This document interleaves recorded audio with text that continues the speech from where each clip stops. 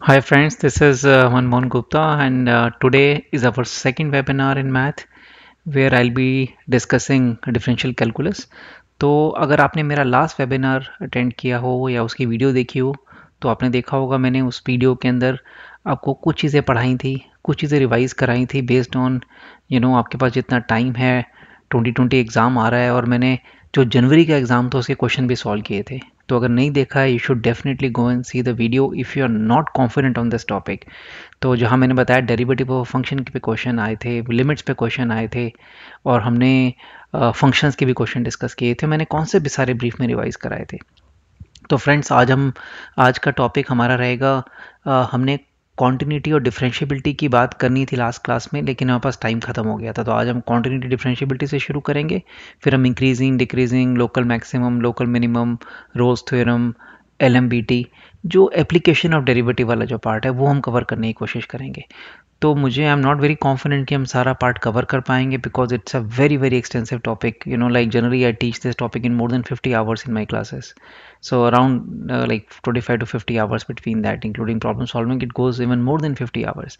तो हम based on किस तरह के क्वेश्चन एग्ज़ाम में आए हैं उस उन चीज़ों को हम रिवाइज करेंगे। जैसे 2020 के अंदर एल uh, और रोज थ्योरम पे डेफिनेटली क्वेश्चन आया है।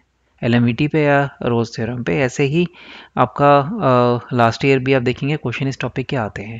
फिर लोकल मैक्सिम मिनिमम है इंक्रीजिंग डिक्रीजिंग है, वो तो आपने करना ही है, उन पर क्वेश्चन आते ही हैं।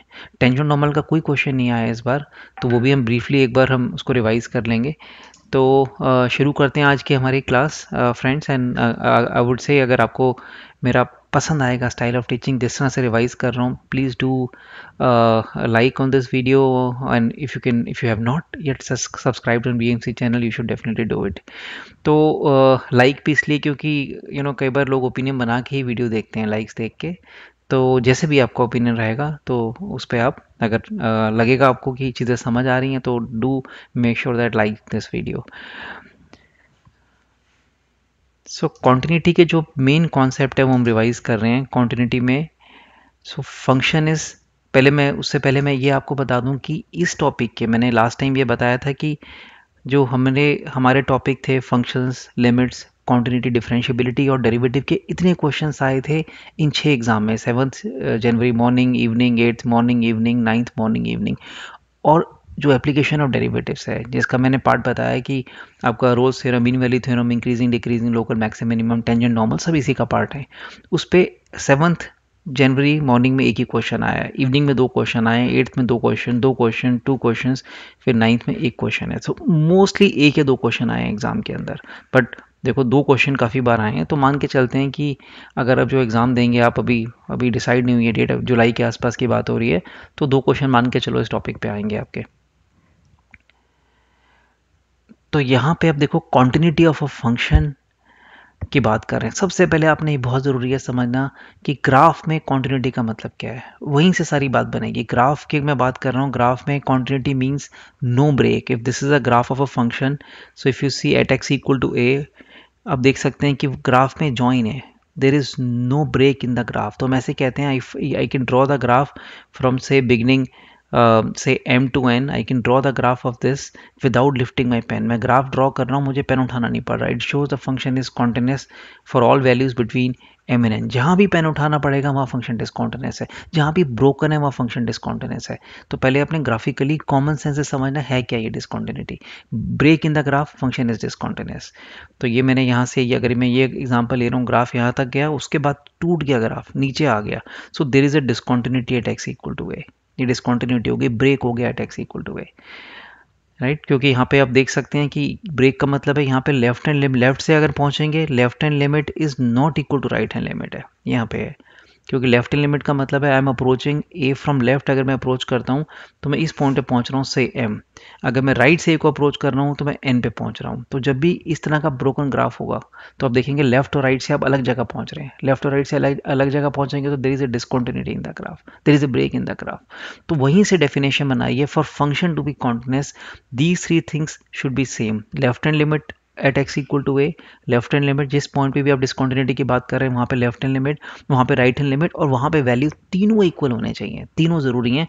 अगर आप कहते हैं left hand limit equal to right hand limit हो भी गई, अगर ऐसा केस आ भी रहा है left hand limit equal to right hand limit उस केस में आप देखो कि वैल्यू भी सेम होना ज़रूरी है अदरवाइज़ वैल्यू सेम नहीं है, देखो क्या होगा। Still the function is discounted still I need to lift my point lift my pen to draw this graph अभी भी पेन उठाना पड़ेगा, देखो, ऊपर जाऊँगा मैं, फिर नीचे आऊँगा। अभी भी पेन उठाना पड़ेगा। तो ये दिमाग में अच्छी तरह बैठा लो कि continuity means no break no break means तीनों चीज़ें इक्वल होनी चाहिए. Left hand limit equal to right hand limit equal to value at that point तीनों चीज़ें. वैल्यू को जब मैं नीचे लेके आऊँगा, तब जाके नो ब्रेक सिचुएशन आएगी. तीनों तीनों तरफ़ से वैल्यू इक्वल होनी चाहिए. वहीं से हमने डेफिनेशन बनाई है और ये आप देख सकते हैं what is this this is left hand limit का फॉर्मूला है मेरा, ये राइट हैंड लिमिट का फॉर्मूला है और ये वैल्यू तीनों इक्वल होने चाहिए. That's a definition of continuity differentiability means where wherever there is a corner differentiability ऐसे डिस्क्राइब करते हैं नॉट कॉर्नर है और ब्रेक है। इन दोनों को अगर मैं मिला देता हूँ, दोनों मिला के आ जाता है non differentiable function becomes non differentiable at those points where we have this problem corner आ जाए कहीं पे या फिर ग्राफ में ब्रेक आ जाए। दोनों केस में नॉन डिफरेंशियबल है। नॉन डिफरेंशियबल और we can say derivative does not exist एक ही मतलब है। फ़ंक्शन का नॉन डिफरेंशियबल होना डेरिवेटिव का एग्जिस्ट ना करना, एक ही मतलब है। तो उसको मैं अगर मैं आपको पिक्चर दिखाऊँ, उसकी कैसी लगेगा, वो ऐसे लगेगा कॉर्नर आ गया मेरा, अगर यहाँ देखो, अगर ये ये है कॉर्नर ये देखो आप से मॉड एक्स के ग्राफ में ये कॉर्नर आ गया। अनदर एग्ज़ाम्पल ये कॉर्नर आ गया। ये सब पॉइंट पे नॉन डिफरेंशियबल हो गया ये कॉर्नर आ गया। राइट जैसे आपने, अब अगर साइन एक्स का ग्राफ है, बड़ा कॉमन एग्ज़ाम्पल है, अगर मैं इस पर मॉड लगा देता हूँ साइन एक्स के ग्राफ पे अगर मैंने मॉड ले लेता हूँ तो मैं नीचे वाले पार्ट को ऊपर फ्लिप करता हूँ। That's a transformation flip lower half into upper half अभी पढ़ने का टाइम नहीं है तो तो लेकिन अभी मैं बता सकता हूँ, ये ग्राफ नीचे से ऊपर जाता है। ये ग्राफ जैसे नीचे से ऊपर जाएगा तो ये देखो अभी कॉर्नर आ गया तो जहाँ पे भी कॉर्नर है फ़ंक्शन इज़ नॉन डिफ्रेंशियबल क्योंकि यहाँ पे तो क्योंकि यहाँ पे अगर लेफ़्ट हैंड डेरिवेटिव देखते हैं, अगर ऐसे कॉर्नर है, अब देखो यहाँ पे कॉर्नर आ रहा है। कॉर्नर का मतलब है टेंजेंट लेफ़्ट की तरफ़ बनाएँगे। Tangent drawn at point suppose ये पी पॉइंट है towards left is left hand derivative tangent drawn towards right is right hand derivative तो जब भी कॉर्नर आएगा tangent towards left and tangent towards right कभी भी उनके स्लोप्स इक्वल नहीं होंगे। दो डिफरेंट टेंजेंट्स लाइन होंगे towards left and towards right and this means function is non differentiable at x equal to a corner means non differentiability because we get two different tangent lines towards left and right तो ये मेरी non differentiability है। लेकिन non differentiability तब भी होती है कि जब भी मेरा ब्रेक आ जाता है कर में। इस केस में डिस्कॉन्टिन्यूस तो है ही फ़ंक्शन अगर आप नीचे देखेंगे जो मैं समझा रहा हूँ डिस्कॉन्टिन्यूस तो है ही है ए के ऊपर, पर फ़ंक्शन नॉन डिफरेंशियबल भी है। तो यहाँ पे what about left hand derivative and right hand derivative तो इसमें अगर सिचुएशन देखेंगे तो ये थोड़ा कुछ लोगों को समझना मुश्किल पड़ सकता है। कोई बात नहीं, इतना इंपॉर्टेंट नहीं है अभी ये कि अगर इस पॉइंट पे पी पॉइंट पे मैं टेंजेंट लेफ़्ट की तरफ़ बनाता हूँ तो ये अगर इसका मेरा स्लोप एम है तो मेरा लेफ़्ट हैंड डेरिवेटिव एम हो गया। डेरिवेटिव टुवर्ड्स लेफ़्ट एम हो गया। लेकिन राइट की तरफ़ मैं डेरिवेटिव बनाता हूँ तो राइट की तरफ़ जो डेरिवेटिव है राइट हैंड डेरिवेटिव है यहाँ पे because there is a break in the curve right hand derivative is minus infinity ये आता है। तो क्योंकि हम इसको यहाँ पे क्यू पॉइंट लेके जो आपने पढ़ा होगा थ्योरी में पहले क्यू पॉइंट लेके, मेरा कॉर्ड पी क्यू बनता है और मैं किस तरह से इसको मैं ए प्लस एच को मैं एच कम करता हूँ तो कॉर्ड ऐसे मूव कर रही है, देखो आप। कॉर्ड वर्टिकल लाइन बन रही है। टेंजेंट नहीं बन रहा। This time because of discontinuity because of break code becomes a vertical line और कॉर्ड वर्टिकल लाइन का स्लोप क्या होता है? नॉट डिफाइंड और वो भी देखें ना वर्टिकल लाइन जो जा रही है, वो ऑप्ट्यूस एंगल वर्टिकल लाइन की तरफ़ जा रहा है। ये ऑप्ट्यूस टेंजेंट का ऑप्ट्यूस एंगल है जो धीरे धीरे 90 की तरफ़ जा रहा है। तो जब ये ऑप्ट्यूस एंगल 90 की तरफ़ जाता है, हमने क्लास में भी डिस्कस किया था ऑप्ट्यूस एंगल 90 बनता है तो जो टेन है उसका, वो माइनस इन्फिनिटी की तरफ़ जाता है। टेन के ग्राफ से कि अगर ऑप्ट्यूस एंगल ऑप्ट्यूस एंगल 90 की तरफ़ पहुँच रहा है, मैं ऑप्ट्यूस साइड से 90 की तरफ़ आ रहा हूँ, ये पाई बाय टू है ग्राफ में देखो तो माइनस इन्फिनिटी की तरफ़ जाता है। टेन थीटा ऐसे एंगल का जो ऑप्ट्यूस से 90 की तरफ़ जा रहा है 90 जैसे for example 95 94 93 92 91 90 point something something goes on तो उसका जो टेंजेंट है स्लोप है, वो माइनस इन्फिनिटी जाता है। तो इसीलिए ये फ़ंक्शन नॉन डिफरेंशियबल है because left hand derivative is not equal to right hand derivative तो मैथमेटिकली डिफरेंशियबिलिटी का मतलब है लेफ़्ट हैंड डेरिवेटिव फ़ंक्शन का derivative towards left should be same as derivative towards right ये देखो, यहाँ लिखा हुआ है derivative towards left should be same as derivative towards right right ये आपका डेरिवेटिव ये देखो आप। Left hand derivative should be same as right hand derivative. Slope of tangent drawn towards left should be same as slope of tangent drawn towards right. ये है। तो ये मेरा फॉर्मूला होता है। ये फॉर्मूला याद करना पड़ेगा। ये राइट हैंड डेरिवेटिव का फॉर्मूला है। F of a plus h minus f a divided by h right hand derivative निकालने का मतलब आपने ये लिमिट वर्कआउट करनी है। लेफ़्ट हैंड डेरिवेटिव का मतलब आपने ये लिमिट वर्कआउट करनी है। अगर दोनों लिमिटिंग वैल्यू सेम आती हैं left hand derivative equal to right hand derivative होगा। It means function is differentiable जब दोनों साइड पे डेरिवेटिव की वैल्यूज़ इक्वल आती हैं और ये ये आने का मतलब है, जब भी ऐसा होगा, दोनों साइड पे टेंजेंट सेम आएँगे तो आप ये समझना कि उस सिचुएशन में आपका एक ही टेंजेंट लाइन बनेगी। जैसे ये ग्राफ है, आप देखेंगे यहाँ पे, इसमें मैं अगर ए पॉइंट लेता हूँ ए पॉइंट पे अगर आप टेंजेंट लेफ़्ट की तरफ़ बनाते हैं, वो ये लाइन है टेंजेंट राइट की तरफ़ ये लाइन है सो सेम टेंजेंट आएगा towards left and right same tangent so it means function is differentiable side and right hand side. तो ये कॉन्सेप्ट है, ये मतलब एक ही लाइन है, यहाँ left hand derivative equal to right hand derivative होगा, क्योंकि लाइन ही सेम है। अब इस साइड से स्लोप निकालेंगे, या इस साइड से निकालेंगे, सेम ही आएगा बिकॉज़ लाइन सेम है। So function f x is differentiable at a ये हम बोलते हैं। कॉर्नर नहीं आ रहा है। No corner at x equal to a तो अब देखो, इसमें जो इंपॉर्टेंट है, वो ये फॉर्मुलेज हैं। मैं दोबारा एक बार यहाँ लिख देता हूँ, ये फॉर्मूले बिल्कुल याद होने चाहिए प्रैक्टिस होनी चाहिए आपकी, नहीं तो आप अटक जाएँगे। ये मेरी राइट हैंड डेरिवेटिव का फॉर्मूला है आर एच डी का जो वर्कआउट करना है वर्कआउट लिमिट करना है, जो हमने लास्ट क्लास में देखा था। जब बताया था मैंने तीन तरीके हैं लिमिट को वर्कआउट करने के रिवाइज कराया था, वो आपने वही लिमिट ही वर्कआउट करनी है। लेफ़्ट हैंड डेरिवेटिव का ये फॉर्मूला है। F of a minus h minus f a minus h ये लेफ़्ट हैंड डेरिवेटिव है। दोनों इक्वल है फ़ंक्शन डिफरेंशिएबल है, दोनों इक्वल नहीं है फ़ंक्शन नॉन डिफरेंशिएबल है। हाँ अगर आपके पास ग्राफ है, या ग्राफ बना सकते हैं आप तो ग्राफ से भी हम बात कर सकते हैं। अभी बताया आपको ग्राफ में कॉर्नर देखोगे, अगर कॉर्नर आ रहा है ग्राफ है जिस पॉइंट पे फ़ंक्शन नॉन डिफरेंशिएबल है ब्रेक आ रहा है फ़ंक्शन नॉन डिफरेंशिएबल है। तो ये ब्रीफ था हमारा कॉन्टीन्यूटी और डिफरेंशिएबिलिटी का। तो अब हम एक बार क्वेश्चन पे नज़र मारते हैं, जो 2020 में जो क्वेश्चन आए हैं अबाउट कॉन्टीन्यूटी एंड डिफरेंशिएबिलिटी उनकी क्या कॉम्प्लेक्सिटी है, उनमें क्या ऐसा है जो आपको आना चाहिए? जितना हमने पढ़ा है, उस नॉलेज से आप ये क्वेश्चन कर सकते हैं, नहीं कर सकते, उसको हम देखते हैं एक बार। क्वेश्चन क्या है? If a function is defined on this interval minus three by three is interval of x like on this interval right defined on minus one by three to one by three तो x का interval दिया हुआ है।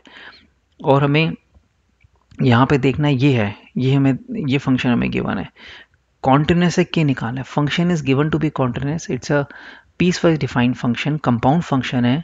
बस इतना फ़र्क है। बाकी सेम डेफिनेशन है। For x not equal to zero but x equal to zero के लिए के है। तो कंपाउंड सिर्फ़ इतना सही है कि के पे हमने उसको रीडिफाइन किया है। ज़ीरो पे हमने रीडिफाइन किया ज़ीरो पे वैल्यू के है अदरवाइज़ ये है। तो इस क्वेश्चन में हमें यही करना है कि फ़ंक्शन कॉन्टिन्यूस है। मतलब उसकी लिमिटिंग वैल्यू जो ज़ीरो पे है limiting value of f x है, वो क्या होनी चाहिए? वो सेम होनी चाहिए f zero value at zero that is k वो के है। तो इतना बेसिक कॉन्सेप्ट था। मेनली लिमिट का क्वेश्चन ही है। Limiting value should be same as value और वैल्यू ज़ीरो पे के है। तो के निकालने के लिए सिर्फ़ ज़ीरो पे आपको लिमिट वर्कआउट करनी है। लिमिट वर्कआउट करने का मतलब है limit x approaches zero function क्या है मेरा? One by x log of one plus three x over one minus two x है। ये लिमिट वर्कआउट करनी है। Must be easy limit. हम क्या करेंगे? पहले देखते हैं लास्ट टाइम देखा था हमने, समझा था लास्ट क्लास में लिमिट कैसे वर्कआउट करनी है। एक्स अप्रोचेज ज़ीरो पे पहले देखना है, ये इसके साथ ये इंडिटर्मिनेट फॉर्म है नहीं है। अगेन अगर ये वर्ड तुम, आपको अजीब लग रहा है इंडिटर्मिनेट फॉर्म है तो आप जाके मैंने जो कल वेबिनार था मेरा, उसको वीडियो को देखो वहाँ रिवाइज करा है लिमिट्स कैसे वर्कआउट करना है। तो एक्स अप्रोच ज़ीरो पे डिनोमीटर ज़ीरो अप्रोच कर रहा है और मैं यहाँ पे अगर ज़ीरो प्लग इन करूँगा थ्री एक्स ज़ीरो है टू एक्स ज़ीरो है लॉग वन है लॉग वन भी ज़ीरो है। तो ये क्या हुआ? Approaching zero by approaching zero indeterminate form है। इसको वर्कआउट करना पड़ेगा। तो लॉग में जब भी ऐसे होता है तो इसका बड़ा अच्छा एक हमारे पास टेम्पलेट है। लॉग में log of one plus some function f है।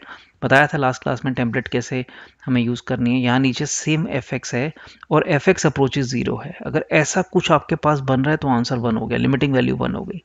ये मतलब है। राइट लिमिट एक्स अप्रोचेस हमें नहीं पता कहाँ जा रहा है उसको फ़र्क नहीं पड़ता हमें। ये पैटर्न आपने देखना है। ये टेम्पलेट है। लॉग अंदर वन प्लस एफ़ एक्स है और डिनोमीटर में एफ़ एक्स है। तो ये वन को अप्रोच करेगा, अगर ऐसा है। लेकिन provided f x approach zero तो हम क्या करेंगे इसको लिमिट को वर्कआउट करने के लिए? इसको मैं ये हटा देता हूँ। तो मैंने यहाँ पे क्या किया? मैंने यहाँ पे लॉग यहाँ मैंने एड वन सपरेट वन कर लिया, या इसको मैं ऐसे कर सकता हूँ, एक मिनट ऊपर one one plus three x था actually one minus two x था. Right so what I do I make I write it like this one minus two x plus five x I can write one plus three x like this it is nothing but one plus three x ये check कर लो one plus three x ही है ये. इसको मैंने ऐसे लिखा है so that I can make one here divided by x limit x approach zero है, मैं लिख नहीं रहा हूँ। अब मैंने अगले स्टेप में इसको स्प्लिट किया about this plus sign split करा, दो पार्ट करे, क्योंकि मुझे वन बनाना था। तो ये बना मेरा लॉग जब इसके नीचे मैंने ये लिया तो मेरा वन आ गया, और फिर है five x over one minus two x ये बन गया मेरा। अब मेरे को, अब मैंने क्या किया? टेम्पलेट बनाने के लिए डिवाइड कर दिया five x over one minus two x से। मल्टीप्लाई भी करना पड़ेगा five x over one minus two x से। मेरा ये आ गया। और एक एक्स मेरा पहले से था यहाँ पे। ये देखो, ये करना है टेम्पलेट बनानी है। आप एल रूल भी ले सकते हो एल हॉस्पिटल रूल भी लगा सकते हो, उसे भी कर सकते हो। मर्ज़ी आपके जो आपको ईजी पड़ेगा। मैं टेम्पलेट से करा रहा था, ये मेरा वन बन गया, क्योंकि एज इट इज़ टेम्पलेट अब सोचने की ज़रूरत नहीं है। देख लिया आपने वन प्लस लॉग के अंदर one plus f x and same thing f x in denominator ये वन हो गया टेम्पलेट से। वन होने के बाद क्वेश्चन ऑलमोस्ट सॉल्व हो गया, ये वन हुआ, ये एक्स से एक्स कैंसिल हुआ, बचे हुए में एक्स को मैंने ज़ीरो प्लग इन कर दिया फाइव आंसर आ गया। राइट, बचे हुए मैं एक्स को ज़ीरो प्लग इन करूँगा, सब कुछ है, एक पार्ट वन अप्रोच कर रहा है, बाकी एक पार्ट फाइव को अप्रोच कर रहा है तो आंसर फाइव आ गया लिमिटिंग वैल्यू फाइव आ गई। तो टेम्पलेट बना के ये वन हो गया, ये एक्स एक्स कैंसिल है, इसको ज़ीरो प्लग इन कर दिया फाइव आंसर आ गया। तो ये एक मेथड था करने का, जो भी के इक्वल टू फाइव आंसर आ जाएगा। राइट तो बाकी आप हॉस्पिटल रूल से भी कर सकते हैं डेरिवेटिव ऑफ़ न्यूमीटर न्यूमीटर में डेरिवेटिव ले लिया लॉग का आप कर लेना, हमने लास्ट टाइम प्रैक्टिस की थी इसे भी प्रैक्टिस करके देख लेना, इसका डेरिवेटिव लेना है और डिनोमीटर का डेरिवेटिव तो वन हो जाएगा। बस ये इससे भी इजी पड़ेगा राइट अगर आपको डेरिवेटिव बस या चेन रूल लगाना पड़ेगा लॉक का डेरिवेटिव लेने के लिए but that something you can easily do तो ये क्वेश्चन लिमिट का ज़्यादा था कि हमें कहा था फ़ंक्शन कॉन्टिन्यूस से के निकालो। तो जो लिमिटिंग वैल्यू थी ज़ीरो पे, हमने उसको वैल्यू के इक्वल कर दिया। वैल्यू मेरी के थी तो के की वैल्यू आ गई। लिमिटिंग वैल्यू निकाली तो के की वैल्यू आ गई। No this was another question very very typical question based on continuity कि आपको अननोन्स ए और बी निकालने हैं। Function is given to be continuous find unknowns a and b तो इसमें एक चीज़ पे अटक सकते हैं जो कि बड़ा क्रिटिकल स्टेप है। बहुत लंबा टाइम लगेगा अगर आपने वो नहीं किया। तो कैसे? इसको आपने देखा पहले तो देखो आप किस तरह का फ़ंक्शन है। ये कंपाउंड फ़ंक्शन है पीस वाइज डिफाइंड फ़ंक्शन है। एक्स लेस एक्स के पीछे जाते हैं तो डेफिनेशन ये है। ज़ीरो पे वैल्यू बी है। अगर एक्स के आगे जाएँगे तो डेफिनेशन ये है। तो ज़ीरो पे डेफिनेशन स्प्लिट हो रही है। यहाँ अलग डेफिनेशन है, यहाँ अलग है और ये ये ज़ीरो ज़ीरो पे ज़ीरो पे वैल्यू बी है आपकी। ये ऐसे है। तो मुझे लेफ़्ट हैंड लिमिट यहाँ, ये डेफिनेशन यूज़ करूँगा राइट हैंड लिमिट के लिए ये यूज़ करूँगा वैल्यू मेरी बी है। वो क्लियर है। अब फ़ंक्शन कॉन्टिन्यूस है ज़ीरो पे। इसकी वैल्यू निकालनी है। Function is given to be continuous find the value of a plus two b तो क्वेश्चन करते हैं लेफ़्ट हैंड लिमिट निकालते हैं। लेफ़्ट हैंड लिमिट का फॉर्मूला यूज़ करते हैं इसमें। एटेक पहले हम देखते हैं, सीधा पहला स्टेप हमारा होता है ज़ीरो उठा के यहाँ प्लग इन ही कर देते हैं। अगर फाइनाइट आंसर आएगा तो वो लेफ़्ट हैंड लिमिट है, बताया था लास्ट क्लास में। ज़ीरो प्लग इन कर दो। ज़ीरो प्लग इन करके तो ये ज़ीरो बाय ज़ीरो आ रहा है। We can not plug in zero right I am not writing everything क्योंकि सेंस नहीं बहुत टाइम लग जाएगा। तो मैंने ज़ीरो प्लग इन किया left hand left hand side definition में। तो अगर फाइनाइट आता तो मेरी लेफ़्ट हैंड लिमिट आ जाती। फाइनाइट नहीं आया वो। वो ज़ीरो बाय ज़ीरो आ गया। उस केस में आपको लेफ़्ट एंड लिमिट वर्कआउट करने के लिए फॉर्मूला लगाना पड़ेगा। लेफ़्ट एंड लिमिट का फॉर्मूला लगाना पड़ेगा, जो ये formula left hand limit at x equal to zero equals to limit h approach is zero f of zero minus h ये है।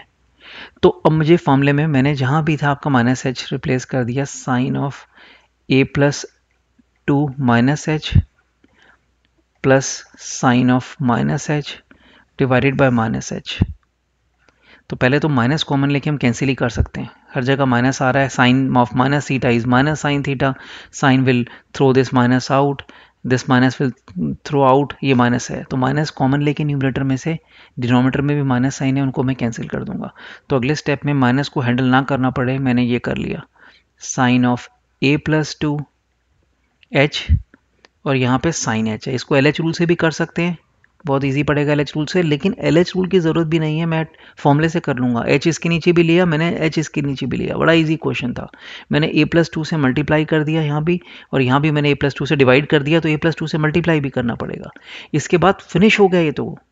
कोई इसमें एल एच रूल वगैरह की ज़रूरत नहीं है। फिनिश हो गया। ये वन को अप्रोच कर रही है टेम्पलेट है। ये भी वन को अप्रोच कर रहा है। ये लास्ट टाइम देखा था हमने फॉर्मूला ये भी वन और ये भी वन दोनों वन है। तो यहाँ बच गया ए प्लस टू और यहाँ बचा वन तो ये पूरा ए प्लस थ्री को अप्रोच कर रहा है left limit a plus three आ गई। और वैल्यू ज़ीरो पे बी है तो मेरी एक ही क्वेश्चन बन गई, मैं यहाँ लिख लेता हूँ a plus three equal to b पहली क्वेश्चन आ गई, लेकिन हमें ए और बी चाहिए तो एक क्वेश्चन और चाहिए। सेकंड इक्वेशन के लिए मुझे, अब ये इसमें क्रिटिकल था इसमें, मुझे राइट हैंड लिमिट निकालनी है ज़ीरो पे तो मुझे लिमिट एच अप्रोच ज़ीरो में यहाँ रिप्लेस करना है। फॉर्मूला मेरा ये है याद होना चाहिए आपको ज़ीरो प्लस एच है तो जहाँ भी एक्स है उसकी जगह मैं एच डाल रहा हूँ।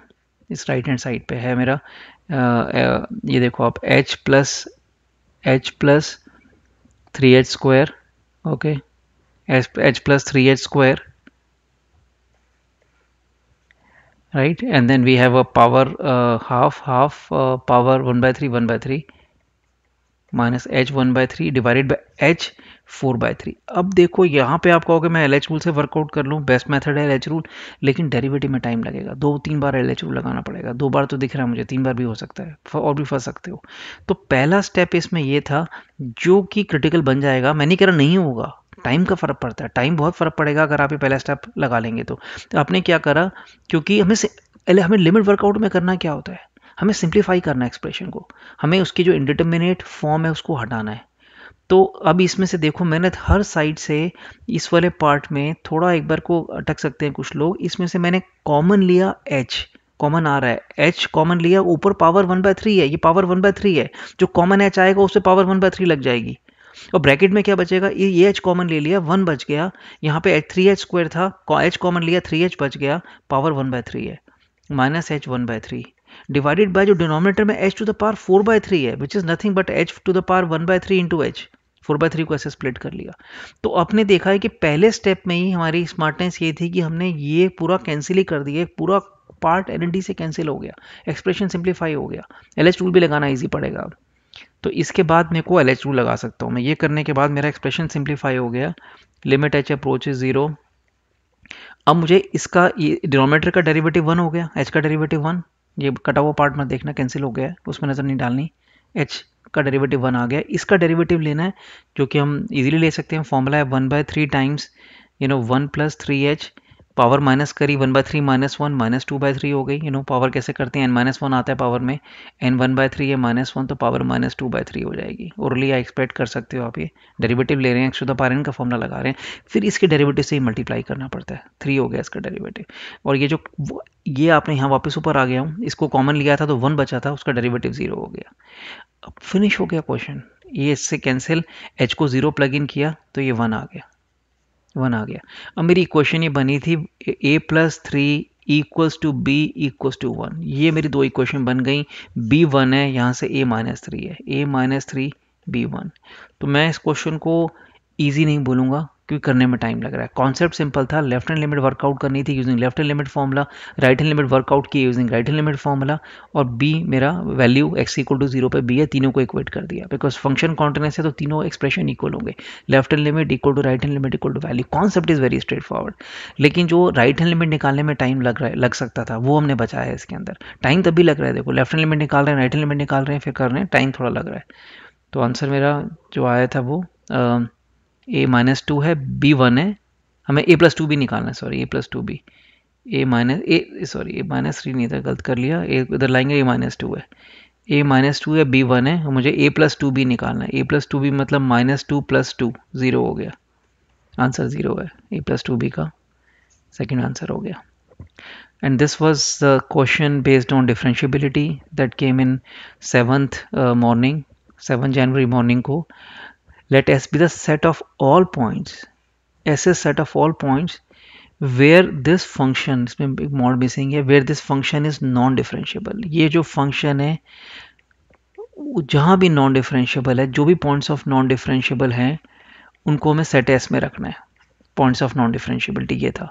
एक बार ये आने के बाद आपका सेट एस आ गया, फिर आपने इस एक्सप्रेशन का सिग्मा करना है। एफ़ ऑफ़ एफ़ एक्स लेना है फॉर ऑल दोज पॉइंट्स जो इस सेट एस में for all values belongs in set S present in set S set S की एक एक वैल्यू लेके यहाँ प्लग इन करके आपको सम करना है सिग्मा करना है। वो बाद में आते हैं, पहले पॉइंट्स ऑफ़ नॉन डिफ्रेंशियबिलिटी निकालते हैं। नॉन डिफरेंशियबिलिटी जहाँ जहाँ भी नॉन डिफरेंशियबल है, वो सेट एस है, ये फ़ंक्शन जहाँ भी ब्रेक है इसके अंदर राइट बाकी देखो ये फ़ंक्शन कॉन्टीन्यूस होगा। ये बेसिक समझ लो कि जो मॉड फ़ंक्शन होते हैं, वो कॉन्टीन्यूस फ़ंक्शन होते हैं। अगर एफ़ एक्स है, इसमें कोई ब्रेक नहीं है और मैं मॉड ले लेता हूँ। तो मॉड फ़ंक्शन कभी डिस्कॉन्टिन्यूटी जनरेट नहीं करता। Mod function non differentiability generate करता है। डिस्कॉन्टिन्यूटी जनरेट नहीं करता नॉन डिफरेंशियबिलिटी जनरेट करता है। कॉर्नर लेके आता है मॉड फ़ंक्शन जैसे आप देखो एक्स का एग्जांपल ले लेते हैं। एक्स तो स्ट्रेट लाइन है कॉन्टिन्यूस है। बाइसेक्टर है फ़र्स्ट और थर्ड क्वाड्रेंट का। मैंने जैसे एक्स की जगह मॉड एक्स किया मॉड लगा दिया तो मेरा जो पार्ट है, नीचे वाला पार्ट नेगेटिव पार्ट पॉजिटिव हो जाता है flip lower half into upper half है, ये मेरा मोडेक्स का ग्राफ बन गया। ये ग्राफ देखो आप, इस ग्राफ में ये कॉर्नर आ गया ज़ीरो पे। तो ये पैटर्न आपने समझना है ज़ीरो कैसे निकालेंगे? जहाँ पे ये एक्सप्रेशन ज़ीरो होता है एक्स इक्वल टू ज़ीरो पे कॉर्नर आ गया एक्स इक्वल टू ज़ीरो पे। एक एग्जांपल और मैं आपको बताऊँ यहाँ पे, कि मेरा अगर mod of x minus one है, इसका कॉर्नर कहाँ आएगा? ये फ़ंक्शन है वन पे आएगा। इसका ग्राफ ऐसा बनेगा। अगर ट्रांसफॉर्मेशन पड़ा अपने मॉडेक्स के ग्राफ को वन यूनिट राइट पे शिफ्ट कर दो, ये। तो ये मेरा ग्राफ बनता है mod of x minus one का, जो कि पता होना चाहिए, नहीं तो कोई बात नहीं। ये मेरा कॉर्नर है। जहाँ भी एक्स माइनस वन ज़ीरो होगा, वो कॉर्नर आएँगे।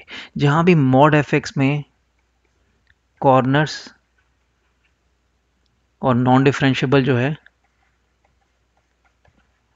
where f x is zero जहाँ एफ़ एक्स ज़ीरो है। ये मेरे नॉन डिफ्रेंशियबिलिटी के पॉइंट आएँगे। तो ये हमें अगर करना है तो फिर तो कॉन्सेप्ट आपको पता है कि भाई नॉन डिफ्रेंशियबिलिटी चाहिए मोड का। मोड में कॉर्नर आइडेंटिफाई करने हैं आपने, जो क्वांटिटी इन साइड मोड है, उसको उठा के ज़ीरो कर दो। वो कॉर्नर आ गया। तो ये करने के लिए, ये करना है तो बड़ा ईजी काम है फिर तो।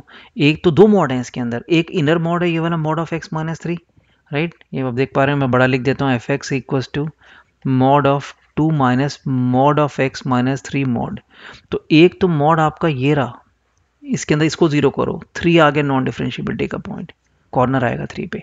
एक मॉड ये है, एक मॉड ये है वाला देखो, एक क्वांटिटी ये है मॉड के अंदर, ये भी मॉड के अंदर है।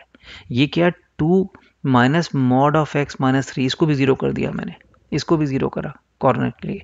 ये आ गया mod of x minus three equal to two x minus three equal to plus minus two right अब इसको बस हमने एक्स सॉल्व करना है यहाँ से। एक्स आ गया मेरा थ्री प्लस माइनस टू तो यहाँ से एक वन आ रहा है एक्स, और माइनस साइन से प्लस साइन लेंगे तो फाइव आ रहा है। तो मेरे तीन पॉइंट हो गए नॉन डिफ्रेंशियबिलिटी के। यहाँ से मेरा थ्री आया था नॉन डिफ्रेंशियबिलिटी का फिर फिर मेरा यहाँ से एक वन और फाइव भी आए हैं। ये मेरे नॉन डिफ्रेंशियबिलिटी के पॉइंट आए हैं। कैसे किया हमने मॉड के अंदर जो एक्सप्रेशन था उसको ज़ीरो करके। वो कॉन्सेप्ट हमने क्विकली समझा है, लेकिन आगे के लिए याद रखेंगे। तो वन थ्री फाइव पॉइंट आ गया। मैं यहाँ पे आ रहा हूँ, मेरा सेट एस बन गया। इसमें तीन पॉइंट है। वन है थ्री है फाइव है। इन तीनों पॉइंट पे मेरा फ़ंक्शन जो मॉड था वो नॉन डिफरेंशियबल है। इन्हीं को लेके मुझे समीशन करना है। किसका? एफ़ ऑफ़ एफ़ एक्स का। इन तीनों पॉइंट को लेके ओवर दिस सेट एस तो तीन नंबर ही है सेट के अंदर। पहले मैंने वन प्लग इन किया तो एफ़ ऑफ़ एफ़ वन पहले वन प्लग इन कर दिया, ये वैल्यू निकालनी है। फिर मैंने थ्री प्लग इन कर दिया तो मुझे ये वैल्यू निकालनी है। राइट इसकी पैकेट की ज़रूरत नहीं है, ये आ गया चेक कर लेते हैं, ये ऐसे आ गई राइट और फिर मुझे फाइव प्लग इन करना है। एफ़ ऑफ़ एफ़ फाइव निकालना है। तो ये मैं निकाल लेता हूँ मेरा मेरा एक एक्सप्रेशन था mod of two minus mod of x minus three थोड़ा काम है इसमें। क्योंकि समझ भी रहे हैं इसके टाइम लग रहा है, ये था एक्सप्रेशन चेक कर लिया, मुझे वैल्यू रिप्लेस करनी है। मैंने उठा के वन डाल दिया मेरे एफ़ के अंदर। Right right? इसमें वन प्लग इन करोगे, जो मेरा यहाँ पे मुझे वन है, देखो यहाँ पे। इस वन को मैं यहाँ पे प्लग इन कर रहा हूँ एक्स की जगह। वन प्लग इन करूँगा तो mod of two minus mod of minus two आ रहा है। तो वो ज़ीरो हो गया, देखो mod of minus two is two two minus two is zero ये ज़ीरो है। तो मुझे फिर इसके बाद एफ़ ज़ीरो निकालना है। आगे चलते हैं पहले, फिर f three f three three plug in करूँगा। तो अगर मैं थ्री प्लग इन कर रहा हूँ तो आ रहा है टू माइनस ज़ीरो आ रहा है। ये टू आ गया। मुझे एफ़ टू चाहिए होगा। फिर मैंने फाइव प्लग इन करना है। फाइव प्लग इन करोगे तो फिर वो ज़ीरो आ रहा है। आप कर लेना, आप ये चेक क्विकली मैंने कर रहा हूँ, ये ज़ीरो आ रहा है। ये तीन वैल्यूज़ चाहिए मुझे। Twice of f zero plus f two चाहिए। तो वो फिर ही प्लग इन करके निकाल लेंगे। फिर इसके अंदर ज़ीरो मैं यहाँ लिख रहा हूँ इस बार में कि मेरा जो एफ़ एक्स था वो ये था mod of two minus mod of x minus three आपको साइड में लिख दिया कि ऊपर जाके ना देखना पड़े, साथ से देख लो आप। जब मैं ज़ीरो प्लग इन कर रहा हूँ, इसमें ज़ीरो प्लग इन कर दो। What is f zero plug in zero orally कर सकते हैं, मैं समझाने के लिए प्लग इन कर रहा हूँ। ये है mod of minus three is minus mod of minus three is three तो two minus three mod mod of minus one one आ गया। ये आप उर्ली कर सकते थे, लिखने की ज़रूरत नहीं है इसको। मुझे लिख के समझाना पड़ रहा है। वन आ गया एफ़ ज़ीरो तो टू इंटू वन हो गया। प्लस एफ़ टू भी निकालना है। एक्स को टू रिप्लेस करो। एफ़ टू अगेन ओरली करना आपने लिखने की ज़रूरत नहीं है। Two minus mod of two minus three तो ये आ गया two minus one mod one आ गया ये भी। आंसर थ्री आ गया। तो दो काम किए थे इसमें हमने। पहला काम मेन था कि नॉन डिफ्रेंशिएबिलिटी निकालने थे मॉड फ़ंक्शन के कॉन्सेप्ट रिवाइज किए हमने और वो तीन पॉइंट निकाले वन थ्री फाइव अब उन तीन पॉइंट को लेके जो सेट एस बना है, उसके सेट एस की हर वैल्यू के लिए मतलब वन थ्री फाइव के लिए, मुझे एफ़ ऑफ़ एफ़ एक्स निकाल के सम करना था। So f of f one f of f three f of f five ये निकाल के सम करना है। राइट तो टाइम लग सकता है, जिन्होंने पहले इस तरह से नहीं पढ़ा है, चीज़ें याद नहीं है, लेकिन ये स्कोरिंग क्वेश्चन होगा मेरे हिसाब से। Right as compare to last question ये ज़्यादा स्कोरिंग क्वेश्चन था प्रोवाइडेड आपने कॉन्सेप्ट पढ़े हुए तो ये तीन क्वेश्चन आए थे, अब हम आगे बढ़ेंगे। अब यहाँ पे टॉपिक है जो टेंजेंट एंड नॉर्मल का टॉपिक है, जो कि बड़ा इजी टॉपिक है। इस बार कोई क्वेश्चन नहीं आया 2020 जनवरी में based on tangent and normal लेकिन क्वेश्चन अब लास्ट पास्ट ईयर में आए हैं ऐसे। Find equation of tangent drawn to a find equation of normal drawn to a something like this tangent drawn to this curve is perpendicular to other curve find the condition find the values of k I am sure question सुने आपने इस तरह से। तो ये हम एक बार quick revision कर लेते हैं। इसमें ज़्यादा कुछ नहीं है। इक्वेशन ऑफ़ टेंजेंट का फॉर्मूला याद करना है। इक्वेशन ऑफ़ नॉर्मल का फॉर्मूला याद करना है आपने। और पैरामेट्रिक फॉर्म में अगर कर्व गिवन है तो इक्वेशन ऑफ़ टेंजेंट कैसे निकालते हैं, एक क्वेश्चन ऑफ़ नॉर्मल कैसे निकालते हैं, और कुछ और फॉर्मूलेज हैं। वो मैंने सारे यहाँ पे लिख लिए हैं। क्विकली मैं मेंशन कर रहा हूँ but something you can revise you know we don't need to study we need don't need to go through each and everything question of tangent ये होता है स्लो पॉइंट फॉर्म से अगर कोई कर्व है मैं यहाँ पे सारा पढ़ूँगा टाइम लगेगा, मैं क्विकली आपको रिवाइज करा देता हूँ। तो कोई पॉइंट अगर मेरे, मेरा एक्स वन वाई वन वहाँ पर मुझे, यहाँ पे एक्स नॉट वाई नॉट लिया तो मैं भी एक्स नॉट वाई नॉट ले लेता हूँ। मुझे यहाँ पे टेंजेंट की इक्वेशन निकालनी है एज वेल एज मुझे नॉर्मल की इक्वेशन निकालनी है। तो मुझे टेंजेंट की इक्वेशन मतलब लाइन है कोऑर्डिनेट ज्योमेट्री से करेंगे स्लोप पॉइंट फॉर्म से करेंगे y minus y coordinate of that point slope चाहिए स्लोप के लिए मैं डेरिवेटिव यूज़ कर रहा हूँ एफ़ डैश एक्स नॉट इसका टेंजेंट का स्लोप चाहिए मुझे टेंजेंट का स्लोप होता है derivative geometric interpretation of derivative slope of tangent on to curve f dash x not x not क्योंकि एक्स नॉट पॉइंट पे चाहिए मुझे। और मेरा एक्स माइनस एक्स नॉट तो ये मेरा स्लोप पॉइंट फॉर्म यूज़ करके कोऑर्डिनेट ज्योमेट्री की इक्वेशन मेरा इक्वेशन ऑफ़ टेंजेंट आ गया। इक्वेशन ऑफ़ नॉर्मल चाहिए तो ये पॉइंट सेम है। स्लोप का फ़र्क हो गया। नॉर्मल का स्लोप मतलब परपेंडिकुलर लाइन का स्लोप तो रेसिप्रोकल लेके हमने माइनस लगा दिया। नॉर्मल का स्लोप आ गया। तो ये याद करने की भी ज़रूरत नहीं है। कॉन्सेप्ट तो पता ही होता है स्लोप पॉइंट फॉर्म है। Point x not y not है, और मेरा डेरिवेटिव स्लोप कैसे आएगा? डेरिवेटिव से नॉर्मल का स्लोप कैसे आएगा? परपेंडिकुलर लाइन का स्लोप का फॉर्मूला रेसिप्रोकल लेके माइनस लगाना होता है। तो ये दो फॉर्मूलेज हैं। अगर पैरामेट्रिक फॉर्म गिवन है मतलब एक्स से यहाँ पे एक्स जी की फॉर्म में और वाई वाई फाई की फॉर्म में है तो मेरा इस बार ये बाकी सेम रहेगा। X minus five t equal to slope जो जो d y by d x आएगा, उसको d y by d t over d x by d t लिखना पड़ेगा, क्योंकि दोनों वाई और एक्स टी की फॉर्म में हमने हमने फ़र्स्ट क्लास में भी डिस्कस किया था ये पैरामीट्रिक फॉर्म को कैसे आपने डिफ्रेंशिएट करना होता है। वही चीज़ यहाँ से सेम है ये। ये। तो ये फ़र्क हो जाएगा, सब कुछ टी की फॉर्म में इस बार। स्लो भी टी की फॉर्म में आएगा और पॉइंट भी टी की फॉर्म में। तो ये हमारा इक्वेशन ऑफ़ टेंजेंट रहता है। नॉर्मल में भी यही करना है। थोड़ा फ़र्क है नॉर्मल के अंदर। तो यहाँ पे इसको मैं माइनस करके रेसिप्रो को ले रहा हूँ। D x by d t ऊपर आ गया d y by d t नीचे चला जाएगा और एक्स माइनस ये सेम रहेगा। तो उसी पॉइंट पे टेंजेंट की क्वेश्चन है ये राइट टेंजेंट है ये और उसी पॉइंट पे ये नॉर्मल है राइट उसी टेंजेंट है नॉर्मल है उन पॉइंट के ऊपर। तो ये this is something you know आपने पढ़ा है पहले, इस पर कुछ क्वेश्चंस भी रिवाइज कर लेना। दो दो तीन तीन क्वेश्चन इन चीज़ों पे रिवाइज कर लेना दैट वुड बी सफिशिएंट तो बाकी कुछ रिज़ल्ट हैं। यहाँ पे आ, कुछ कुछ लिखा हुआ angle of intersection of two curves topic है कि दो कर्व का एंगल ऑफ़ इंटरसेक्शन निकालना है। दो कर्व का एंगल ऑफ़ इंटरसेक्शन मतलब उनका जो पॉइंट ऑफ़ इंटरसेक्शन आएगा। सपोज़ ये आपका एफ़ एक्स कर्व है और ये आपकी जी एक्स कर्व है। इनका एंगल ऑफ़ इंटरसेक्शन निकालना है। ये पॉइंट निकालना है इनका। ये पॉइंट तो ये पॉइंट निकालने के लिए हम क्या करेंगे? मतलब ये इस पे इस पे एंगल ऑफ़ इंटरसेक्शन निकालना मतलब मुझे इस पॉइंट पे टेंजेंट ड्रॉ करना है फ़र्स्ट कर्व पे सेम पॉइंट पे टेंजेंट ड्रॉ करना है सेकंड कर्व पे। तो ये इसका स्लोप आपने m1 निकाल लिया, दूसरा स्लोप m2 निकाल लिया। Angle between two curves is same as angle between these two tangents जो टेंजेंट्स के बीच का एंगल है, वही कर्व्स के बीच का एंगल है। So angle between two curves is same as angle between the tangents drawn at the point of intersection ये टेंजेंट ये निकालना है आपने। टेन थीटा निकालना है स्लोप्स हैं। लाइंस के स्लोप हैं कॉर्डिनेट ज्योमेट्री में this is the angle between lines का फॉर्मूला है। मॉड लगा लेंगे तो acute angle between two lines का फॉर्मूला है। ये एक्यूट एंगल आ जाएगा। ये करना है आपने। और स्लोप कहाँ से आएँगे? डेरिवेटिव से। डेरिवेटिव से। M1 क्या है? M1 है आपका, आपने ड्रॉ किया जी के ऊपर। जी जी डैश टी है। Right right? जो भी पॉइंट है पॉइंट सपोज़ टी नॉट है टी नॉट आ गया। ऐसा ही। F dash T not right over one plus ji dash T not F dash T not ये कम और तो ये मेरा आंसर मतलब जो ये मेरा वो आ जाएगा स्लोप आ जाएगा एंगल आ जाएगा between two tan theta of angle between two curves है। ये कुछ फॉर्मूले हैं जो आपको आने चाहिए। ये पॉइंट है यहाँ पे अपने किए होंगे। इसे हम कहते हैं ऑर्डिनेट अगर मैं उस पॉइंट से परपेंडिकुलर को ड्रॉप करता हूँ, मैं एक्स एक्सेस के ऊपर this is known as ordinate right इस लेंथ को। ये मेरा लेंथ ऑफ़ द नॉर्मल है, ये लेंथ ये लेंथ ऑफ़ द टेंजेंट आती है टेंजेंट की लेंथ है ये। इतना यहाँ से लेके पॉइंट ऑफ़ पॉइंट ऑफ़ जिस पॉइंट ऑफ़ कॉन्टैक्ट जिस पॉइंट पे टेंजेंट ड्रॉ किया है, वह उसके और intersection of tangent with x axis इनके बीच का जो लेंथ होता है पीटी को हम कहते हैं length of tangent length of tangent right तो ये आपने फॉर्मुलेज हैं जो आपने याद करने हैं p n is length of normal same way p point है जहाँ पे टेंजेंट ड्रॉ किया है नॉर्मल ड्रॉ किया है, और एन एन है जहाँ पे मीट कर रहा है normal with x axis normal जहाँ मीट कर रहा है विद एक्स एक्सेस तो इसको हम कहते हैं लेंथ ऑफ़ नॉर्मल तो ये कुछ डेफिनेशन हैं, याद होनी चाहिए। इस डिस्टेंस को कहते हैं बिटवीन ये लेंथ है sub normal g n is sub normal डाम रखा हुआ है। Foot of foot of perpendicular perpendicular drop किया इसके फुट जी है। नॉर्मल का पॉइंट ऑफ़ इंटरसेक्शन एन है तो जी एन का नाम है सब नॉर्मल ऐसे ये लेंथ है between distance between point of intersection and foot of the ordinate इसे हम कहते हैं सब टेंजेंट तो आई एम श्योर ये पहले आपने फॉर्मूले पढ़े हैं।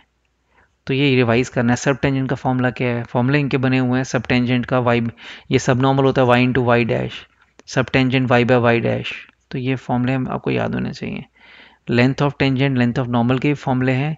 नहीं याद हो रहे हैं तो फिर यहाँ से आपको डिराइव करना देखना पड़ेगा कि ये ये थीटा एंगल है। अगर आप देखो ये वाला एंगल यहाँ पे क्विकली ये थीटा एंगल है। ये वाई है तो ये वाई कॉट थीटा है। वाई कॉट थीटा है। और सॉरी हमें ये लेंथ चाहिए। ये वाई कोसेक थीटा है। कोसेक थीटा को कोसेक स्क्वायर लिख के वन प्लस कॉट स्क्वायर लिख के कॉट स्क्वायर आएगा तो one by y dash square लिख के कॉट कॉट का रेसिप्रोकल टेन तो ये ऐसे फॉर्मूला आपको अगर याद नहीं है तो आपको फिर वो डिराइव करना पड़ेगा ऑन द फ्लाई तो आई वुड नॉट रिकमेंड कि याद नहीं है, आप याद ही कर लोगे. तो ये टेंजेंट नॉर्मल की थ्योरी थी जो बिल्कुल बेसिक थ्योरी है जो आपको आनी चाहिए, कुछ क्वेश्चन की प्रैक्टिस चाहिए. No this is theory about Rolle's theorem जिस पे क्वेश्चन आया है एग्ज़ाम में जनवरी में और एलएमवीटी पहले रोज थ्योरम देखते हैं, फिर एल देखेंगे। बड़ा ही फंडामेंटल थ्योरम है। इट सेज दैट कि अगर फ़ंक्शन एफ़ आपका एफ़ एक्स इज़ कॉन्टिन्यूस है in closed interval a comma b f x is differentiable है in open interval a comma b अगर ये प्रॉपर्टी सेटिस्फाई हो रही है and f a equal to f b है then अगर ये कंडीशन मीट हो रही है देन रोज सीरम लग सकती है इसके ऊपर। Rolle's theorem is applicable on this situation because function is continuous in closed interval differentiable in open interval and this condition meets f equal to f b तो मतलब इस तरह का ग्राफ है ए और बी के बीच में। ग्राफिकली ये मतलब है। ए पे जो वैल्यू है, वही बी पे वैल्यू है। और बीच में कोई ब्रेक नहीं है, कोई कॉर्नर नहीं है because function is continuous and differentiable ये ग्राफ है। इस तरह से एग्ज़ाम्पल लिया मैंने। तो कह रहे हैं कि Rolle's theorem says that if this is true then f dash c जो होगा equal to 0 for at least one value of c at least one c belonging to interval a comma b. ये ये condition है कि एक point ऐसा होगा जहाँ पे डेरिवेटिव ज़ीरो होगा। डेरिवेटिव ज़ीरो मतलब स्टेशनरी पॉइंट कहते हैं, उस पर आएँगे भी कि अगर ये कंडीशन मीट कर रही है देर एग्जिस्ट एटलीस्ट है एटलीस्ट वर्ड ध्यान रखना है at least one point in interval a comma b where slope of tangent is zero where derivative is zero तो ऑब्वियस है वो तो इस पॉइंट पे वैल्यू इस पॉइंट पे वैल्यू सेम है, दोनों वैल्यू इक्वल है f a equal to f b है ये। जो ए पे वैल्यू बी पे वैल्यू है। ग्राफ बीच में ब्रेक नहीं है ग्राफ ऊपर जाएगा, घूम के नीचे आएगा। तो जिस पॉइंट पे घूम रहा है जो लोकल मैक्सिमम का पॉइंट आ रहा है, अभी पढ़ेंगे वो, वहाँ पे डेरिवेटिव ज़ीरो है। C slope of tangent is zero एक पॉइंट बीच में आएगा, कहीं भी हो सकता है, ज़रूरी नहीं है इनका मिड पॉइंट हो। एक पॉइंट पे डेरिवेटिव ज़ीरो है। एक से ज़्यादा पे भी हो सकता है at least one point derivative zero होगा। सी की एक वैल्यू होगी बिटवीन ए एंड बी तो ग्राफ अगर ऐसे है, देखो ये वाला, यहाँ पे जो ए पे वैल्यू है, वही बी पे वैल्यू है। तो मैंने दूसरा एग्ज़ाम्पल लिया है यहाँ पे, कि हम रोज सिरम लगा सकते हैं ए और बी के बीच में। कंडीशन मीट हो रही है f a equal to f b है राइट और बीच में आप देख सकते हैं कि कि इसके बीच में ऐसा ऊपर गया ग्राफ, नीचे आ रहा है। ये पॉइंट पर डेरिवेटिव ज़ीरो नीचे से ऊपर जाएगा सेकंड पॉइंट डेरिवेटिव ज़ीरो ऊपर से नीचे आ रहा है थर्ड पॉइंट डेरिवेटिव ज़ीरो है। तो तीन वैल्यूज़ हैं सी की सी one C to C three where derivative is zero so there exist three values of C in this case हम कितनी होंगी इस पर कंडीशन नहीं डाल रहे। कोई फिक्स भी नहीं है। ऐसे से कितनी सारी वैल्यू आ सकती है ए और बी के बीच में, जहाँ डेरिवेटिव ज़ीरो है। ये ये ये ये। तो हम कह रहे हैं एटलीस्ट वन वैल्यू तो पक्का होगी। एटलीस्ट वन वैल्यू तो होगी। यहाँ से ग्राफ हिला है, ऊपर जा रहा है। इसी, इस पॉइंट पे आना है, देखो आप। यहाँ से ग्राफ चला है, यहाँ आना है, बीच में घूमेगा ना तभी तो यहाँ आएगा अदरवाइज़ यहाँ कैसे पहुंचेगा मंजिल पे अपनी? डेस्टिनेशन पे कैसे आएगा? टूटा हुआ नहीं है अपनी कैसे? ऐसे आ गया फिर फिर ऐसे आ गया नीचे। नहीं नहीं नहीं, ऐसा नहीं है। कॉन्टिन्यूस ग्राफ है कॉर्नर भी नहीं है कॉन्टिन्यूस है तो ग्राफ डेफिनेटली ऐसा होगा। मिनिमम कम से कम ऐसा होगा। ग्राफ ऐसा हो सकता है। ग्राफ ऐसा हो सकता है। ग्राफ ऐसा ऐसा हो सकता है, ऐसे ऐसे हो सकता है। तो बीच में पॉइंट्स आएँगे जहाँ डेरिवेटिव ज़ीरो है। एटलीस्ट वन पॉइंट तो होगा जहाँ डेरिवेटिव ज़ीरो है। So this is about the Rolle theorem right तो आपने याद रखना है ये चीज़। अभी क्वेश्चन भी देखते हैं इसके ऊपर जो आया है।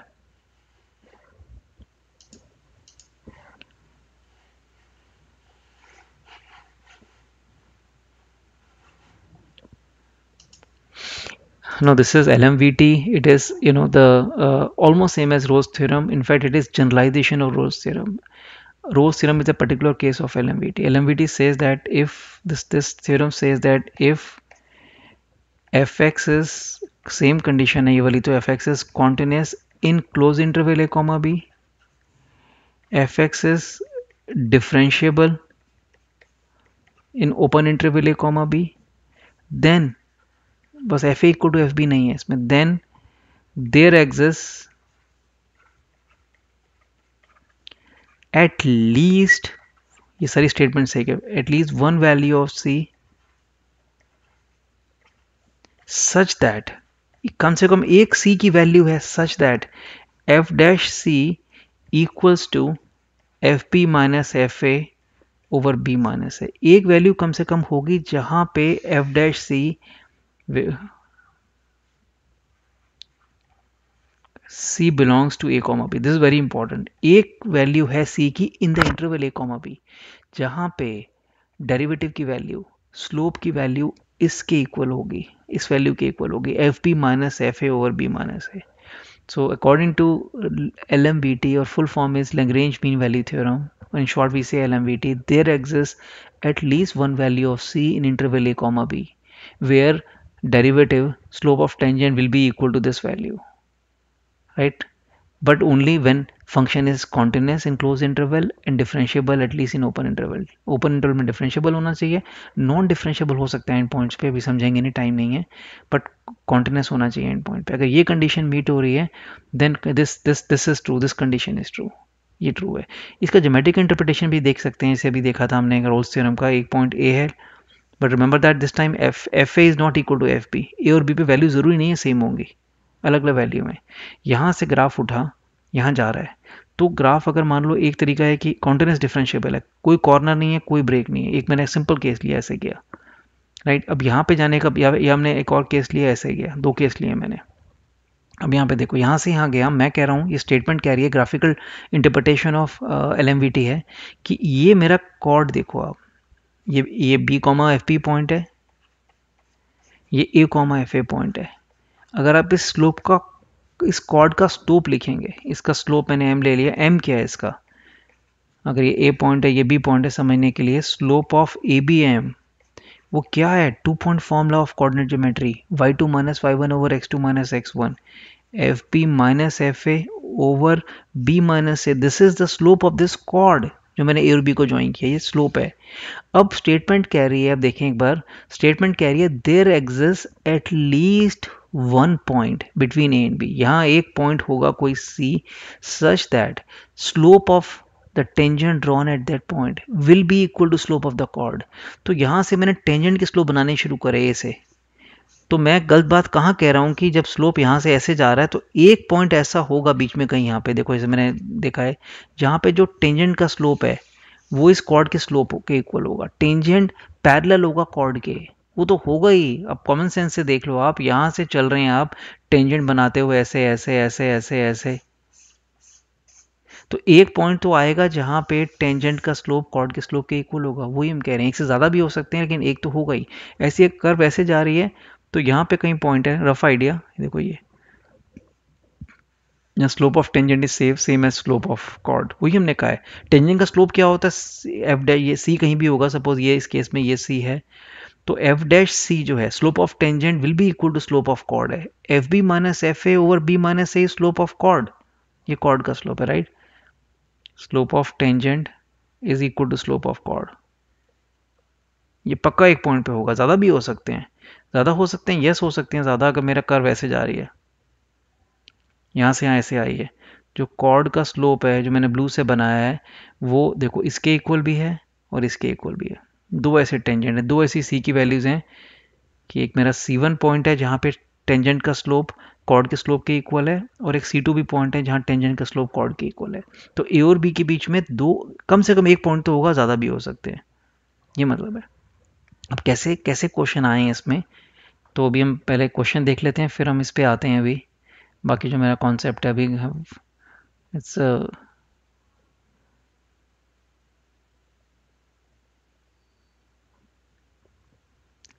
पहले ये देखते हैं इजी क्वेश्चन है। या तो this is a question came on seventh January evening shift question says that the value of c of Lagrange mean value theorem, that is LMVT for the function this where x belongs to this, कि आप LMVT लगाओ इसके ऊपर, और जो C होता है, C क्या होता है? C होता है कि ऐसा पॉइंट जहाँ पे derivative f b minus f a के इक्वल होगा। वो जो C है, C की वैल्यू बताओ क्या है? What is find the value of C? तो बस ये रिज़ल्ट अप्लाई करना है, C आ जाएगा। तो फ़ंक्शन गिवन है मेरा राइट फ़ंक्शन गिवन है मेरा एफ़ बी क्या है? मेरा ए और बी पता है, मेरा इंटरवल पता है ज़ीरो टू वन है। तो मेरा ये एफ़ वन है, ये minus f zero divide by one minus zero ये एफ़ डैश सी निकालना है डेरिवेटिव लेना है इसका डेरिवेटिव लिया मैंने डेरिवेटिव लिया। ये देखो एफ़ एक्स का डेरिवेटिव लिया, यहाँ लिख लेता हूँ मैं एफ़ डैश एक्स क्या है? Three x square minus twelve x sorry minus eight x plus eight ये डेरिवेटिव है। सी सी प्लग इन कर दिया मैंने। थ्री सी स्क्वायर सीधा ही लिख लेते हैं टाइम बचाते हैं। Three c square minus eight c plus eight equal to this value ये करना है, बस यहाँ से सी में क्वाड्रेटिक सॉल्व करनी है। इजी क्वेश्चन है। Three c square minus eight c plus eight f one की वैल्यू क्या है? ध्यान से कैलकुलेशन मिस्टेक मत करना, बस एफ़ वन रिप्लेस कर दिया। फ़ंक्शन में यहाँ पे वन प्लग इन करके एफ़ वन निकाला है। एफ़ वन मुझे f one minus f zero चाहिए तो दोनों एक साथ ही देख लेते हैं f one minus f zero f one के लिए one minus four plus eight plus eleven minus f zero f zero is eleven तो ये मेरा एफ़ वन है और ये मेरा एफ़ ज़ीरो है। जब दोनों को माइनस किया तो इलेवन तो कैंसिल ही हो गया। रह गया मेरा फाइव मैंने यहाँ फाइव प्लग इन कर दिया। देखो फाइव बाय वन फाइव है ये। इसकी वैल्यू फाइव आई है। इसकी वैल्यू ये क्या है? एफ़ डैश सी है। अब मेरे को यहाँ क्वाड्रेटिक सॉल्व करनी है। Three c square minus eight c plus three equal to zero और चॉइसेस से देख के लग रहा है कि शायद परफेक्ट स्क्वायर नहीं होगा। मतलब आपको फॉर्मूला लगाना पड़ेगा रूट का। C equal to eight plus minus square root of b square sixty four minus nine into four thirty six divided by two simplify कर लेते हैं। Eight plus minus root of sixty four minus thirty six is twenty eight yes check कर लिया twenty eight yes and then and then twenty eight या divide by two twenty eight और twenty four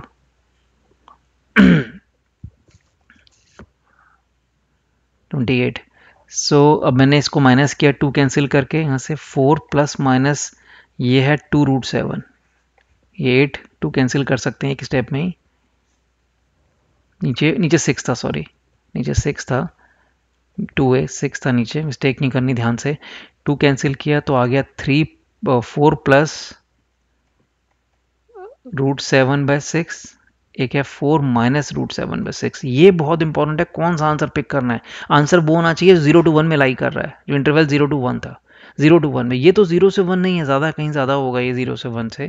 ज़्यादा आ रहा है four plus root seven तो ये six से ज़्यादा हो गया न्यूमरेटर तो डिनोमीटर से सिक्स से डिवाइड करेंगे तो वन से ज़्यादा हो गया। ये है वैल्यू जो आएगी आपकी ज़ीरो टू वन में। पॉजिटिव है राइट पॉजिटिव है ज़ीरो टू वन में आएगी। अगर पॉजिटिव पे डाउट हो रहा है तो सिक्सटीन फोर को लिख लो रूट ऑफ़ सिक्सटीन देखो साफ़ दिख रहा है कि root of sixteen is more than root of seven तो ऐसे पता चल जाता है हमें कि पॉजिटिव है। लेकिन वैल्यू आप रफ आइडिया भी कैलकुलेट करके देखेंगे तो तो ये ये मतलब ये डेफिनेटली ये ये फोर नहीं है फोर से कम है। तो फोर से कम है तो माइनस करके यू नो कैसे भी मतलब जो भी मतलब ये जो पूरा न्यूमिनेटर है सिक्स से कम है तो ज़ीरो टू वन में ये आंसर आ गया। फोर माइनस रूट सेवन बस। बाय बाय टू तो कैंसिल कर दिया था हमने यहाँ पे। थ्री रह गया सॉरी थ्री रह गया। Right right? तो तब भी मतलब पॉजिटिव है, ये आंसर है। Four minus root seven by three तो मिस्टेक बस ध्यान रखना था इस क्वेश्चन में। Another question based on Rolle's theorem came on eighth January morning exam if c is a point at which Rolle's theorem holds for the function c पे अगर Rolle's theorem applicable है then f x ये function है in interval three to four then find f double dash c थोड़ा time लगेगा इसमें, देखो कहीं तो फंसाएँगे वो. क्वेश्चन मुश्किल पेपर थे इस बार. 2020 के जनवरी में आए as compare to I am saying as compare to जो अब तक के मेंस के पेपर आए हैं मैथ का अब तक का सबसे डिफ़िकल्ट पेपर इसी बार आए हैं, क्योंकि इन्होंने क्वेश्चन कम कर दिए, लेकिन डिग्री और डिफिकल्टी भी बढ़ा दी है। तो इसमें मुझे सी निकालना है और सी भी नहीं निकालना, मुझे एफ़ डबल डैश सी निकालना है। सी तो निकालना ही होगा पहले मुझे, जहाँ रोज सेम एप्लीकेबल है, फिर उसको यूज़ करके सेकेंड डेरिवेटिव निकालना है। तो मैंने रोज सीरम लगाई थ्री कोमा फोर पे तो ये बहुत इंपॉर्टेंट है, रोज सीरम एप्लीकेबल है तो f three equal to f four होना चाहिए। ये रोज सीरम की कंडीशन थी। और रोज सीरम एप्लीकेबल है, वो कह रहा Rolle's theorem holds a function तो ये f three equal to f four होगा। तो थ्री डाल के इस फ़ंक्शन में log on base e equal to nine plus alpha over twenty one equals to four plug in कर दिया। फोर प्लग इन करेंगे sixteen plus alpha divide by twenty eight ये है। तो इक्वेट कर दो। अगर लॉग इक्वल है तो वैल्यूज़ भी इक्वल होंगी। 9 plus alpha divided by 21 equals to 16 plus alpha divided by 28 ये कैंसिल करा 7 into 3 21 7 into 4 28 cross multiply 36 plus 4 alpha equals to 48 plus 3 alpha so alpha यहाँ से आपका 12 आ गया। Right right? तो ये मेरे को अब मैं यहाँ से अल्फ़ा 12 निकाला। अब मेरे को अल्फ़ा की वैल्यू अल्फ़ा की वैल्यू आ गई मेरी 12 तो मेरा यहाँ से फ़ंक्शन बन गया मेरा। अभी मेरा अभी तो कुछ नहीं हुआ, सिर्फ़ फ़ंक्शन आया है अभी। क्वेश्चन तो अभी शुरू भी नहीं हुआ। Log of x square plus twelve alpha को ट्वेल्व रिप्लेस कर दिया डिवाइडेड बाय सेवन एक्स अब मुझे, अब रोज थ्योरम क्या कहती है कि there exist at least one value of c such that f dash c equal to zero derivative zero होगा। एक पॉइंट पर डेरिवेटिव पक्का ज़ीरो होगा। अभी हमने समझा रोज थ्योरम में। तो मैं अब डेरिवेटिव लूँगा इसका मैं अब मैंने डेरिवेटिव लिया है इसका, यहाँ पे एफ़ डैश एक्स तो चेन रूल लगाना पड़ेगा। लॉग कर नीचे आ गया x square plus twelve divided by seven x into derivative of this into derivative of this so it is seven x का स्क्वायर यहाँ पे derivative of numerator is I am applying quotient rule या दो part में split करके भी कर सकते हैं, जैसे भी मतलब कोई ज़्यादा फ़र्क नहीं है। ये मैंने, ये two x taking seven x constant minus seven को बाहर भी रख सकते थे आप. बेटर है सेवन को बाहर रख लें, थोड़ा कैंसिल भी हो रहा है. सेवन को लेने की ज़रूरत नहीं जब इसको डिफ्रेंशिएट कर रहे हैं. बाकी को लिया मैंने. एक्स का एक्स स्क्वायर आ गया. Derivative numerator is two x taking x constant minus taking numerator constant derivative of denominator is one x का derivative one chain quotient rule लगाया है. ये सेवन से ये seven cancel so this is x over x square plus twelve यहाँ पे x square है. और यहाँ two x square minus x square आ रहा है। Two x square minus x square minus twelve x square minus twelve ये x से x cancel तो मैंने अभी मेहनत करके सिर्फ़ ये निकला है x square minus twelve divide by x into x square plus twelve ये निकाला है अभी। और मैं ज़ीरो करूँगा इसको। डेरिवेटिव को ज़ीरो करना है सी निकालना है। सी वो वैल्यू जहाँ पे डेरिवेटिव ज़ीरो है। ज़ीरो किया तो मेरा x square equal to twelve आ गया। या कहना चाहिए x equal to plus minus three root two आ गया। नेगेटिव नहीं लेंगे तो x की जो वैल्यू थ्री रूट टू है, जहाँ पे रोज थ्योरम लग सकती है। ये आ गया थ्री रूट टू और थ्री और फोर के बीच में होनी चाहिए थ्री टू फोर के बीच में है वैल्यू तो अभी मैंने क्या किया सी निकाल लिया, ये मेरा सी है। जहाँ पे डेरिवेटिव ज़ीरो है, वो सी निकल आ गया। अब मुझे एक काम और करना है सेकंड डेरिवेटिव निकालना है सी पे। देखो, ये निकालना है। काम बड़ा रखा है, मेहनत करा रहे हैं हमसे एग्ज़ाम में कितनी। ऑब्जेक्टिव एग्ज़ाम में पच्चीस क्वेश्चन है, एक घंटे का टाइम देते हैं, इतनी मेहनत करा रहे हैं। पहले हमने तो तभी तभी ये कि यू नो स्पीड बड़ी मैटर करती है एग्ज़ाम में, जल्दी क्विकनेस तो हमने अभी दो स्टेप कर चुके हैं, पहले अल्फ़ा निकाला है, फिर हमने सी निकाला है। अब मुझे सेकंड डेरिवेटिव लेना है, इसको दोबारा डिफ्रेंशिएट करना है। देखो, ये फ़ंक्शन को दोबारा डिफ्रेंशिएट करना है मुझे।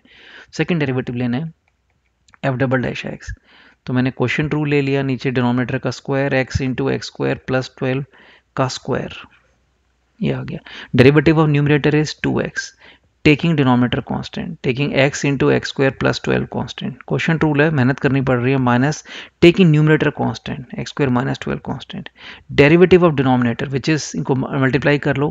पहले मल्टीप्लाई करके थ्री एक्स स्क्वायर का डेरिवेटिव थ्री एक्स क्यू का derivative three x square twelve x का डेरिवेटिव प्लस ट्वेल्व ये आ रहा है। राइट यस एक्स क्यूब का derivative three x square and then twelve x का डेरिवेटिव ट्वेल्व या अब मुझे एक गलती नहीं करनी, ध्यान रखना और बहुत अटक जाओगे। Don't waste time in simplifying हमें क्या करना है? सेकंड डेरिवेटिव निकालना है, किस पे? थ्री रूट टू पे। और एक और देखो इसमें अब, कि मेरा एक्स थ्री रूट टू है सी थ्री रूट टू है, मेरा सी थ्री रूट टू है, लेकिन सी स्क्वायर क्या है मेरा? ट्वेल्व है। तो यहाँ पे मतलब पहले सी डाल दिया कि मतलब है। मेरे को सी स्क्वायर या एक्स स्क्वायर ट्वेल्व है मेरा। यहाँ पे एक्स की फॉर्म है ना, पहले मैं सी डालूँगा मुझे, अगर ये टाइम वेस्ट और होता है, देखो मैं ये कर रहा हूँ तो मैं सबको, मुझे सेकंड डेरिवेटिव सी पे निकालना है तो सब मैं सब एक्स की जगह सी डालूँगा। ज़रूरत नहीं एक्स में ही रहने दो। वेरिएबल क्यों चेंज करें हम? हम वेरिएबल क्यों चेंज करें? हमें सेकेंड डेरिवेटिव निकालना है मुझे, किस पे?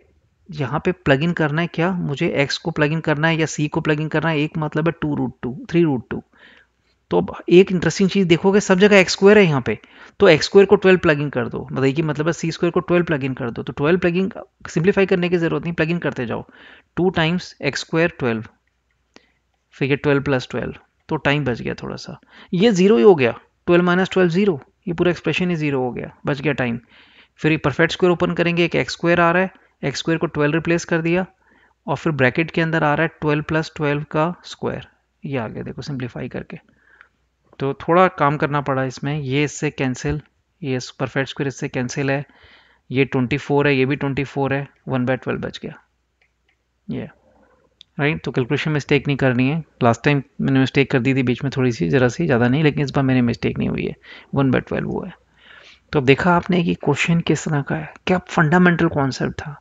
कि रोल सिरम अप्लाई करके सी निकालना है और सी पे सेकेंड डेरिवेटिव की वैल्यू निकालनी है। बड़ा सिंपल कॉन्सेप्ट है, बड़ा लल्लू पंजू वाला कॉन्सेप्ट है। सिंपल लेकिन टाइम देखा आपने कितना लगा? तीन स्टेप थे। सी निकाला, फिर सॉरी पहले अल्फ़ा निकाला f three equal to f four करके, फिर सी निकाला डेरिवेटिव ज़ीरो करके, फिर हमने सेकंड डेरिवेटिव लिया और फिर हमने उसको प्लग इन किया। तो टाइम लग रहा है इस क्वेश्चन में right otherwise concept straightforward था। अब ये दो क्वेश्चन थे, अब ये बाकी दो क्वेश्चन और हैं। अब देखना ये डिफ़िकल्ट क्वेश्चन है। ये वाला क्वेश्चन करते हैं, फिर एक और क्वेश्चन दोनों जो बचे हुए क्वेश्चन है एल के, वो डिफ़िकल्ट है. इजी नहीं है एग्ज़ाम पॉइंट ऑफ़ व्यू से. तो थ्योरम पढ़ी है हमने, देखो अभी किस तरह क्वेश्चन है. Let F be a function continuous in A comma B and twice differentiable on A comma B continuous है डिफरेंशियबल है ट्वाइस डिफरेंशियबल दिया है, लेकिन हमें एलएमबीटी के लिए बस डिफरेंशियल ही काफ़ी था. और कंडीशन है कि सेकेंड डेरीवेटिव यहाँ पे ग्रेटर देन ज़ीरो है. Sorry derivative greater than zero है second derivative less than zero है. तो ग्राफ सेकंड ये उसका मतलब क्या होता है? इंक्रीजिंग फ़ंक्शन इंक्रीजिंग अभी पढ़ा नहीं है, अभी हमने पढ़ना है, अभी आज रिवीजन करनी है, लेकिन पढ़ा तो वही है आपने। डेरिवेटिव पॉजिटिव मतलब function increasing second derivative negative मतलब होता है कॉन्वेक्स अपवर्ड शेप के बारे में concavity convexity is decided by second derivative second derivative negative is convex upward shape है। अभी पढ़ेंगे आगे अभी अभी इतना ही देख लेते हैं अभी। Second derivative negative shape convex upwards derivative positive increasing function है। तो ग्राफ इसका ऐसे है, देखो आप। ये राइट तो कॉन्वेक्स भी है शेप और साथ में इंक्रीजिंग भी है राइजिंग भी ये ग्राफ है इंटरवल मेरा है गिवन इसमें ए टू बी इंटरवल के बारे में तो कुछ दिया ही नहीं हुआ। ए और बी इंटरवल मतलब है ए दिया हुआ है और बी दिया हुआ है। तो यहाँ पे अब मुझे इस क्वेश्चन में कमाल की बात है कि इसमें एल लिखा भी नहीं है, हमें खुद कर रहा है, हमें तो ये निकालना है, इसकी दिस इज़ ग्रेटर देन इसकी लीस्ट वैल्यू निकालनी this greater than which value f c minus f a f b minus f c तो यहाँ से देख के लग रहा है कि कुछ एल एम वी टी का चक्कर है इसके अंदर। एक तो f c minus f a दिया हुआ है। सी कहीं कहीं सी पॉइंट है, हमें नहीं पता कहाँ है सी मान लेते कैसे यहाँ पे। तो एक हमें दिया है f c minus f a right ये मेरा एफ़ सी है। ये मेरा एफ़ ए है। और ये मेरा एफ़ बी है। राइट तो f c minus f a अगर मैं इसको ऐसे लिखूं तो मतलब ऐसे देखा आपने। तो हम एक चीज़ दो तरह से कर सकते हैं। अगर जोमेट्रिकली करेंगे तो बहुत जल्दी हो जाएगा। जोमेट्रिकली एक अंदाजे से देखा मैंने, अगर आप ध्यान से देखो। ये अगर इसको ज्वाइन करूँगा, मेरी एक कॉर्ड आ रही है सॉरी अगर मैं इसको ज्वाइन कर रहा हूँ तो एक कॉर्ड ये आ रही है। इसको ज्वाइन कर रहा हूँ तो एक कॉर्ड आ रही है। अब अब कहीं से भी आप सी को कहीं भी ले लो जोमेट्रिकली देख सकते हैं स्लोप ऑफ़ कॉर्ड मैं इसको पॉइंट्स को मार्क कर दूँ A B C A B and C slope of chord A C is greater than slope of chord B C तो कहीं भी पॉइंट लेंगे, क्योंकि वो शेप कॉन्वेक्स है, उसकी वजह से ऐसा ही हो रहा है। कि कहीं सी को कहीं भी ले लो आप। पहले पहले स्टीप आएगा, फिर स्लो कम हो जाएगा। ये इसका एंगल विद एक्स एक्सिस ज़्यादा है as compare to angle of this chord with x axis ये थोड़ा सा वापस हमने कर्व ऐसे कर्व पीछे उल्टी आ रही है, घूम रही है कर्व ऐसे उल्टी घूम के आ रही है कर्व तो हमने जो आधा आधा स्लोप पड़ा है पहला स्लोप और दूसरा स्लोप में दूसरा स्लोप कम होगा। कहीं भी आप ले सकते हो। एक और यहाँ एग्जांपल लेके देख लो। पहले आप यहाँ चले गए, फिर आप यहाँ गए ऐसे। अब पहले यहाँ चले गए फिर आप ऐसे आए। यहाँ गए, फिर आप ऐसे आए। तो पहला स्लोप हमेशा दूसरे स्लोप से ज़्यादा होगा। तो ये है। अब मेरा स्लोप ऑफ़ कॉर्ड एसी क्या है। ये ये तुम अब, ये इसको मैं ऐसे लिख सकता हूँ। F c minus f a over c minus a right slope इस लाइन का। F two minus y two minus y one over x two minus x one is greater than slope of chord B C मतलब हो गया f p minus f c over b minus c इससे तो L M की ज़रूरत ही नहीं है, हो ही गया सॉल्व तो यहाँ से क्या आ गया? F c minus f a divided by इसको मैं नीचे ला रहा हूँ, इसको ऊपर ले जा रहा हूँ। F b minus f c greater than c minus a over b minus a right c minus a over b minus a sorry यहाँ गलत लिख दिया मैंने स्लोप में बी माइनस सी होना चाहिए था फॉर्मूले में। B minus c c third answer आ गया। तो ये मैंने विदाउट एलएमवीटी हो गया, क्योंकि मैंने ज्योमेट्री यूज़ कर ली। अब एल से कैसे करेंगे? एल से ऐसे होगा। थोड़ा डिफ़िकल्ट पड़ता है। मैं इसके बीच में एल लगाऊँगा और इसके बीच में एल लगाऊँगा। तो मैंने यहाँ एक पॉइंट ले लिया से सपोज़ को एक्स वन या सी वन ले लेते हैं सी की आदत है मैं। मैंने सी की आदत मैंने सी वन ले लिया। तो मैं कह सकता हूँ, यहाँ पे एल लगाई है मैंने इसमें। L M V T in interval x belongs to a to c में। क्या कहती है theorem L M L M कह रही है, एक पॉइंट पक्का होगा बिकॉज़ फ़ंक्शन कॉन्टिनेंस डिफरेंशिएबल है। एक पॉइंट सी वन पक्का होगा, जहाँ derivative of c one f dash c one will be equal to you know f p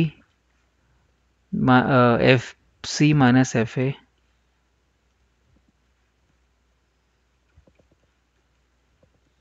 over c minus a ये होगा राइट right? अब मैंने कहा सेम मैंने दूसरी जगह लगा दिया L M V T in x belongs to c to b ये इस वाले इंटर में लगाया एल एम यहाँ लगाया मैंने एल एम एल एम क्या बोलेगी? एल एम बोलेगी एक पॉइंट सी टू होगा बीच में एफ़ डैश सी टू जहाँ पे डेरिवेटिव की value f p minus f c over b minus c के इक्वल होगी। कॉर्ड का स्लोप है ये, देखो। बी माइनस सी सॉरी ये ये देखो, इस कॉर्ड का स्लोप ये कॉर्ड का स्लोप लिया। कि टेंज एक पॉइंट ऐसा होगा टेंजेंट का स्लोप कॉर्ड के स्लोप के इक्वल होगा। सी टू पॉइंट लिया हमने वो सी टू मान लिया। तो इससे अब, लेकिन इससे क्वेश्चन हुआ नहीं। अभी होगा ना देखो कैसे। अगर मैं ये ले रहा हूँ कि अगर मैं कह सकता हूँ कि सी वन पता है मेरे को c one less than c two है? वो तो हमने लिया ही है ऐसे। ऊपर डायग्राम में दिख ही रहा है आपको सी वन हमने सी वन यहाँ लिया है इस वाले पार्ट में और सी टू यहाँ लिया है हमने बीच में कहीं तो c one less than c two है। दोनों साइड का मैंने, अब मैं कह सकता हूँ f dash c one is greater than f dash c two इसको आप थोड़ा घूरेंगे अभी देखना। ऐसे कैसे आगे आप बोलेंगे? कहाँ से आया ये? क्या करा है मैंने? जो मेरा एफ़ डैश एक्स फ़ंक्शन है f dash x is a decreasing function थोड़ा अभी पढ़ा नहीं है हमने भी डिक्रीजिंग लेकिन मान मतलब रिवीजन नहीं कर रही है, पढ़ा आपने पहले होगा। F dash x is a decreasing function क्यों? क्योंकि डिक्रीजिंग फ़ंक्शन की प्रॉपर्टी क्या होती है? डिक्रीजिंग क्यों? वाई क्यों ऐसा? क्योंकि अगर आप सेकंड डेरिवेटिव लेंगे एफ़ डबल डैश एक्स लेंगे less than zero because f double dash x negative given है क्वेश्चन में, जब भी किसी फ़ंक्शन का डेरिवेटिव नेगेटिव होता है तो फ़ंक्शन डिक्रीजिंग होता है। आई एम श्योर पढ़ा होगा, पहली बार नहीं सुन रहे होंगे। किसी फ़ंक्शन का डेरिवेटिव पॉजिटिव है तो वो इंक्रीजिंग फ़ंक्शन है। डेरिवेटिव नेगेटिव है तो डिक्रीजिंग फ़ंक्शन है। तो मेरा जो एफ़ डैश एक्स फ़ंक्शन है, सिर्फ़ एक बार ध्यान से सुनो एफ़ डैश एक्स जो फ़ंक्शन है मेरा, जो डेरिवेटिव फ़ंक्शन है डेरिवेटिव में जाओ फ़ंक्शन देखो ये। जो फ़ंक्शन है, इसका डेरिवेटिव सेकंड डेरिवेटिव है। डेरिवेटिव का डेरिवेटिव सेकंड डेरिवेटिव है और वो नेगेटिव है। तो मेरा बिकॉज़ ऐसे हो रहा है, ये जो मेरा f dash f dash x function है, उसका जो डेरिवेटिव है which is nothing but second derivative वो नेगेटिव है। तो मतलब क्या हो गया? एफ़ डैश एक्स का डेरिवेटिव नेगेटिव है, वो डिक्रीजिंग है। इस डिक्रीजिंग और डिक्रीजिंग की डेफिनेशन होती है कि x one greater than x two implies that f of x one less than f of x two ये डिक्रीजिंग की डेफिनेशन है। लेस देन इक्वल टू होता है इक्वल टू की ज़रूरत नहीं है। ये मेरी डिक्रीजिंग की डेफिनेशन है। ये डिक्रीजिंग फ़ंक्शन है। राइट तो ये डिक्रीजिंग फ़ंक्शन था एफ़ डैश एक्स क्योंकि सेकंड डेरिवेटिव नेगेटिव था। तो मैंने यहाँ से करा सी वन मेरा लेस देन सी टू है, दोनों तरफ़ का मैंने एफ़ डैश ले लिया, क्योंकि वो डिक्रीजिंग था साइन चेंज हो गया। Sorry f dash c one greater than f dash c two जो हमने जोमेट्रिकली देख लिया था, वो ये देखो, वही चीज़ आ रही है। सी वन पे पॉइंट लेके आपने अगर डेरिवेटिव लेंगे और ये डेरिवेटिव लेंगे स्लोप जो है, वो चेंज हो ये ये देखा। अब ये रिप्लेस कर दो, ये तुमने पहले लिखा ही ऊपर, देखो एल से। लिखा ही था F C minus F A same चीज़ आ गई। F C minus F A over C minus A greater than F P minus F C over B minus C cross multiply करना है, आ गया। सेम चीज़ हमने ज्योमेट्री से की थी। तो दो बार एलिमिटी लगा के हमने, इससे भी बात नहीं बनी। दो बार एलिमिटी लगाया, उससे बात नहीं बनी। दोनों को कनेक्शन कैसे बनाया हमने? यहाँ से बनाया। C one less than C two है तो मतलब value F dash X F dash C one greater than F dash C two है। राइट सी वन जो टेंजेंट होगा वो वो वो डायमेट्रिकली भी दिख रहा है साहब। देखो मैं सी वन मेरा जो पॉइंट है यहाँ पे मैं टेंजेंट का स्लोप लूँगा और सी टू पर जो टेंजेंट का स्लोप लूँगा तो obviously F dash C one ज़्यादा बड़ा है। देखो स्लोप ऑफ़ टेंजेंट ज़्यादा है सी वन पे as compare to C two क्योंकि कर्व जब कॉन्वेक्स uh, हो गई है तो स्लोप ऑफ़ टेंजेंट का स्लोप कम हो रहा है। टेंजेंट का स्लोप फॉल करता है देखो आप कम हो रहा है। स्लोप ऑफ़ टेंजेंट गिर रहा है। यहाँ ज़्यादा स्लोप ऑफ़ टेंजेंट बाद में स्लोप ऑफ़ टेंजेंट कम हो गया। तो हमने जोमेट्रिकली भी देख लिया एफ़ डैश सी वन जो है डेरिवेटिव एट सी वन ज़्यादा है as compare derivative at C two तो उसी को हमने एलिमिटी में रिप्लेस कर लिया। तो बड़ा इंटरेस्टिंग क्वेश्चन था एग्ज़ाम के पॉइंट में। ईजी बिल्कुल नहीं था क्वेश्चन वो एज़ कंपेयर टू बाकी देखें आपने क्वेश्चन कैसे आए हैं। और ये भी क्वेश्चन ईजी नहीं है। तो वही है इसमें मतलब हर सेट के अलग पेपर हैं। बैलेंस नहीं पता कैसे करते होंगे। वो नॉर्मलाइज तो करते हैं, आपको पता ही है कैसे करते हैं नॉर्मलाइज राइट कि बेस्ड ऑन सबने, सबके एवरेज मार्क्स क्या आए हैं, उस हिसाब से नॉर्मलाइज करते हैं वो। तो बट बड़ा, दो क्वेश्चन इजी थे, दो क्वेश्चन डिफ़िकल्ट थे। ये क्वेश्चन भी डिफ़िकल्ट है। तो इसमें भी एल लगानी है और दो बार एल लगानी है। ये मतलब उस लास्ट क्वेश्चन से भी डिफ़िकल्ट कहूँगा इसको मैं थोड़ा। इसमें आइडिया लगाना थोड़ा सा टफ पड़ता है, इसमें एल लगाना। Let the function let C what kind of question is this let the function ये फ़ंक्शन है be continuous in between minus seven and zero and differentiable in this open interval जब भी आपको function continuous है interval के अंदर, और differentiable भी है। ओपन इंटरवल में है, चलो क्लोज में है ओपन में फ़र्क नहीं पड़ता एल एम बी टी लग सकती है। Whenever you have this condition function continuous as well as differentiable there is a possibility we can apply L M V T and that is what this question is L M लग रहा है इसमें। एक मुझे given है F of minus seven equal to minus three given है। ये given है। अब मेरे को क्या पता है, एक साथ में गिवन है डेरिवेटिव जो है एक्स का, इस इंटरवल में माइनस सेवन टू ज़ीरो में वो less than equal to two है। थोड़ा अजीब सा लगता है ये, लेकिन यूज़ बड़े प्यारे तरीके से हो रहा है। एफ़ डैश सी जो है यहाँ पे सॉरी यहाँ पे जो मेरा इंटरवल है, मेरा ये इंटरवल है एक्स का माइनस सेवन टू ज़ीरो जिसमें हम एल लगा रहे हैं, ये है। अब क्वेश्चन एल का आइडिया यहाँ से आता है मतलब आता भी नहीं, थोड़ा डिफ़िकल्ट पड़ता है इसमें आइडिया कि F of minus one plus F of zero की रेंज निकालनी है। लाइज इन द इंटरवल क्योंकि कुछ गिवन नहीं है, कोई फ़ंक्शन गिवन नहीं है, कुछ नहीं है, कहाँ से शुरू करें, कुछ सर पैर समझ नहीं आता। तो लगता है एल से करते हैं। एल एम वी टी या F of minus seven given है एफ़ ऑफ़ माइनस वन की बात हो रही है तो दोनों के बीच में एल एम वी टी लग सकती है। तो मैंने दो बार एल एम वी टी लगा रहा हूँ, एक बार लगा रहा हूँ मैं माइनस सेवन और माइनस वन के बीच में एल एम वी टी इस इंटरवल में। तो एल एम वी टी कहती है कि एक पॉइंट ऐसा होगा डेरिवेटिव होगा right F dash C one होगा ऐसे राइट वो किसके इक्वल होगा? F of minus one minus F of minus seven over minus one minus seven ये मेरा ये है। और ये एफ़ डैश सी वन क्या है? डेरिवेटिव एक पॉइंट सी वन इंटरवल में जहाँ पे डेरिवेटिव है ये, वो less than equal to two होगा। डैश सी वन जो है, ये डेरिवेटिव ही डेरिवेटिव जो है, मेरा लेस देन इक्वल वो क्यों है? क्योंकि गिवन है देखो यहाँ पे।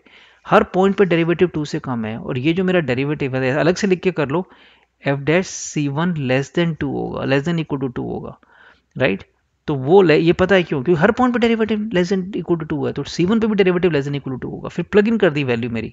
यहाँ प्लग इन कर दी, यहाँ से वैल्यू देखो, यहाँ से प्लग इन कर दी वैल्यू मैंने। तो क्या आया? एफ़ ऑफ़ माइनस वन नहीं पता हमें। Minus F of minus seven पता है गिवन है क्वेश्चन में minus three divided by minus one minus minus plus हो गया सिक्स हो गया। ये less than equal to two है। यहाँ से कुछ रिलेशनशिप मिलनी शुरू हो गया हमें यहाँ से क्या मिला हमें? आगे चले। तो एफ़ ऑफ़ माइनस वन की वैल्यू आ गई रेंज आ गई। क्रॉस मल्टीप्लाई किया ट्वेल्व और यहाँ से मैं माइनस uh, कर दूँगा तो ट्वेल्व माइनस थ्री नाइन हो जाएगा। ये नाइन से कम है ये आगे देखो। एक चीज़ आ गई। अब मैं लिमिटी लगाऊँगा। In minus seven to zero के इंटरवल में। सेम तरीके से, बिल्कुल। एक पॉइंट मान लेते हैं सी टू एक पॉइंट पक्का होगा, जहाँ डेरिवेटिव इसके इक्वल होगा। F of zero minus F of minus seven divided by zero minus minus seven और ये जो डेरिवेटिव है, इसे लास्ट क्वेश्चन में किया है less than equal to two होगा। Derivative less than equal to two होगा। फिर मैंने सीधे उसी में रिप्लेस कर लिया। तो इससे क्या मिला मेरा? एफ़ ज़ीरो की वैल्यू नहीं पता मुझे, कोई बात नहीं। एफ़ ऑफ़ माइनस सेवन पता है माइनस थ्री है। डिनोमीटर में सेवन है less than equal to two थोड़ा आगे बढ़ते हैं। ऑलमोस्ट क्वेश्चन हो गया। क्रॉस मल्टीप्लाई किया। राइट साइड पे फोर्टीन आ जाएगा। ये माइनस थ्री कर दिया। इलेवन आ गया यहाँ पे। F zero less than equal to eleven अब ये देखो, अब इन दोनों को कंबाइन करो। एक है F minus one less than equal to nine एक है F zero less than equal to eleven दोनों का सम कर दिया। ऐड कर दिया। वन और टू को ऐड कर देते हैं। उससे बात बन गई देखो आप। ऐड वन एंड टू तो बना F of minus one plus F of zero less than equal to nine plus eleven इनका सम अगर एक नाइन से कम है, दूसरा इलेवन से कम है तो उनका सम पक्का ट्वेंटी से कम होगा। Right less than equal to twenty यही पता चल रहा है, और हमें कोई इन्फॉर्मेशन पता नहीं चली है। तो इसकी रेंज आ गई ट्वेंटी या ट्वेंटी से कम होगा। कितना कम होगा मिनी कैच कह सकते। हैं तो हमने इसका उस हिसाब से आंसर टिक कर दिया आंसर है भी। उसकी रेंज हो गई माइनस इन्फिनिटी से ट्वेंटी कितना कम होगा नहीं पता तो हमने कहा ट्वेंटी से कम है। तो ट्वेंटी से कम क्या होगा? माइनस इन्फिनिटी से ट्वेंटी तक तो देखा आपने किस तरह का क्वेश्चन था, बड़ा टेढ़ा क्वेश्चन था एग्ज़ाम पॉइंट ऑफ़ व्यू इसमें करना। कितना माथा खराब होना कि पहले तो एल सोचना लग पाएगी इस क्वेश्चन में, फिर एल भी दो बार लगानी थी, एक माइनस सेवन और ज़ीरो के बीच में, एक माइनस सेवन और वन के बीच में। Minus seven F of minus seven given था तो वो यूज़ हो गया। एक जगह से एफ़ ज़ीरो आ गया, एक जगह से मेरा एफ़ ऑफ़ सेवन आ गया। और ये मेरा काम आ रहा था यूज़ करने में कि वो नेगेटिव है डेरिवेटिव नेगेटिव है। Derivative less than sorry not negative derivative less equal to two है। वो यहाँ यूज़ किया हमने। बड़ा इंटरेस्टिंग क्वेश्चन है एल पे राइट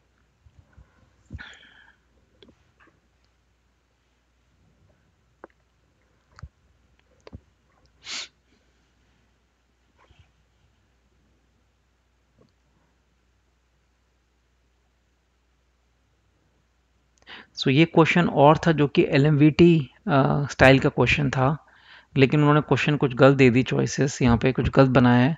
तो अभी टाइम नहीं वेस्ट करते, समझने में कि गलती क्या है। गलती क्लियर है, लेकिन वो हम अभी इस पर टाइम नहीं वेस्ट करेंगे। अगर कहीं नज़र आए तो उसको छोड़ना है। आपने क्वेश्चन को, ये आया था तो ये बोनस मार्क्स होते हैं, सबको मार्क्स मिल जाते हैं। एट जनवरी को था ये इवनिंग शिफ्ट के अंदर। तो जो कि रॉन्ग क्वेश्चन आ गया था बेस्ड ऑन एल एम भी लिखा नहीं था एलएमवीटी की बात बन रही थी।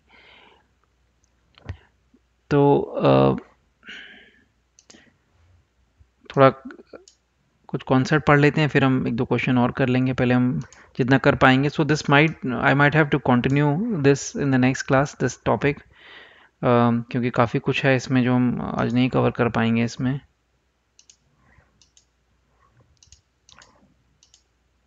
Sorry that was from the last class ये है। या so quickly revise few more concepts here whatever time we have now so increasing and decreasing partly तो हमने कर लिया है। Function is said to be increasing तो जो whenever the graph is rising graph जब भी ऐसे राइज कर रहा है, बेशक ऐसे राइज कर रहा है, या फिर राइज करके बीच में रुक गया हॉर्जेंटल हो गया, फिर राइज कर रहा है। सो so, ये सारे जो केसेस हैं मैंने तीनों ड्रॉ किए यहाँ पे, जो curve left to right rise करती है, उसको हम इंक्रीजिंग कहते हैं। Curve is an increasing function increasing curve definition ये होती है कि एफ़ एक्स इज़ इंक्रीजिंग और said to be increasing in A comma B interval right, in a comma b interval. If x1 greater than x2 अगर x1 x2 से बड़ा है तो corresponding value of x1 corresponding value of y at x1 is also greater than corresponding value of y at x2 y coordinate भी बड़ा होगा। Corresponding variable Y coordinate भी बड़ा होगा एफ़ की वैल्यू भी बड़ी होगी, ये इंक्रीजिंग है। Greater than equal to sign भी आता है यहाँ पे ग्रेटर देन इक्वल टू ये इंक्रीजिंग की डेफिनेशन है। फिर हम कहते हैं स्ट्रिक्टली स्ट्रिक्टली वर्ड आ गया कि हम स्ट्रिक्टली वर्ड का मतलब है कि X one greater than X two implies that f of x1 greater than f of x2 equal to sign नहीं आ रहा है। कि अगर एक्स को बढ़ाएँगे तो वाई को बढ़ना पड़ेगा कंपलसरी है। यहाँ हम कह रहे हैं एक्स को इंक्रीज करेंगे तो वाई स्टैटिक भी हो सकता है वाई की वैल्यू सेम भी रह सकती है। दोनों में फ़र्क सिर्फ़ ये है कि in this case we have a flat part in the graph graph can have a flat part horizontal part a flat part flat part is not possible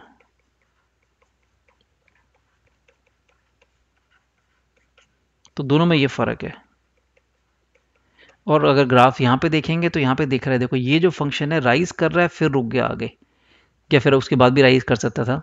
तो ये इंक्रीजिंग फ़ंक्शन बोलेंगे इसको। ये is not strictly increasing function not strictly increasing strictly increasing में horizontal part नहीं आ सकता। और यहाँ देखो, ये फ़ंक्शन राइज कर रहा है। तो ये क्या हो गया? स्ट्रिक्टली इंक्रीजिंग हो गया। और इंक्रीजिंग भी बोल सकते हैं। स्ट्रिक्टली इंक्रीजिंग इंक्रीजिंग तो है ही increasing is super set kind of thing increasing उसके ऊपर है। जो स्ट्रिक्टली इंक्रीजिंग है, वो इंक्रीजिंग तो है ही है। Right right? उसमें हॉरिजॉन्टल पार्ट नहीं है, लेकिन इंक्रीज तो कर ही रहा है। इन दिस केस ये ऑल्सो स्ट्रिक्टली इंक्रीजिंग है, और भी से इंक्रीजिंग इंक्रीजिंग और स्ट्रिक्टली इंक्रीजिंग इंक्रीजिंग और strictly increasing just increasing we cannot say strictly increasing because there is there is a horizontal part जब भी हॉरिजॉन्टल पार्ट आएगा, उसको स्ट्रिक्टली इंक्रीजिंग नहीं बोल सकते। हॉरिजॉन्टल पार्ट का मतलब है, यहाँ पे इक्वल टू था, वो आ गया। वाई की वैल्यू चेंज नहीं हुई है। वाई की वैल्यू सेम है कि अगर यहाँ से मैं यहाँ मूव किया हूँ, इतने पार्ट में यहाँ से यहाँ मूव किया हूँ तो वाई कोऑर्डिनेट चेंज नहीं हुआ है। तो उसको इंक्रीजिंग बोल सकते हैं स्ट्रिक्टली इंक्रीजिंग नहीं। एक और इंपॉर्टेंट बात है कि ये जो है दिस दिस ये जो फ़ंक्शन है this this horizontal part thing यहाँ मैं लिख देता हूँ it can it can show up it can show only in compound functions. जो पीस वाइज फ़ंक्शन होते हैं, उसी में ऐसा फ्लैट पार्ट आएगा, ऐसा कोई फ़ंक्शन नहीं, अचानक चलते हुए फिर हॉरिजॉन्टल हो गया। तो जब भी आप सिंपल फ़ंक्शन से डील कर रहे हैं तो वो इंक्रीजिंग है तो स्ट्रिक्टली इंक्रीजिंग है। Simple function can only be strictly increasing it can not be you know increasing it can not have a flat part so always when you say increasing, it is strictly increasing in simple function. Because simple function can not have a horizontal part flat part नहीं हो सकता बीच में। Flat part तभी होगा किसी function का behaviour जब वो कंपाउंड करा होगा, जोड़ा होगा आपने उसको। तो ये इंपॉर्टेंट चीज़ है।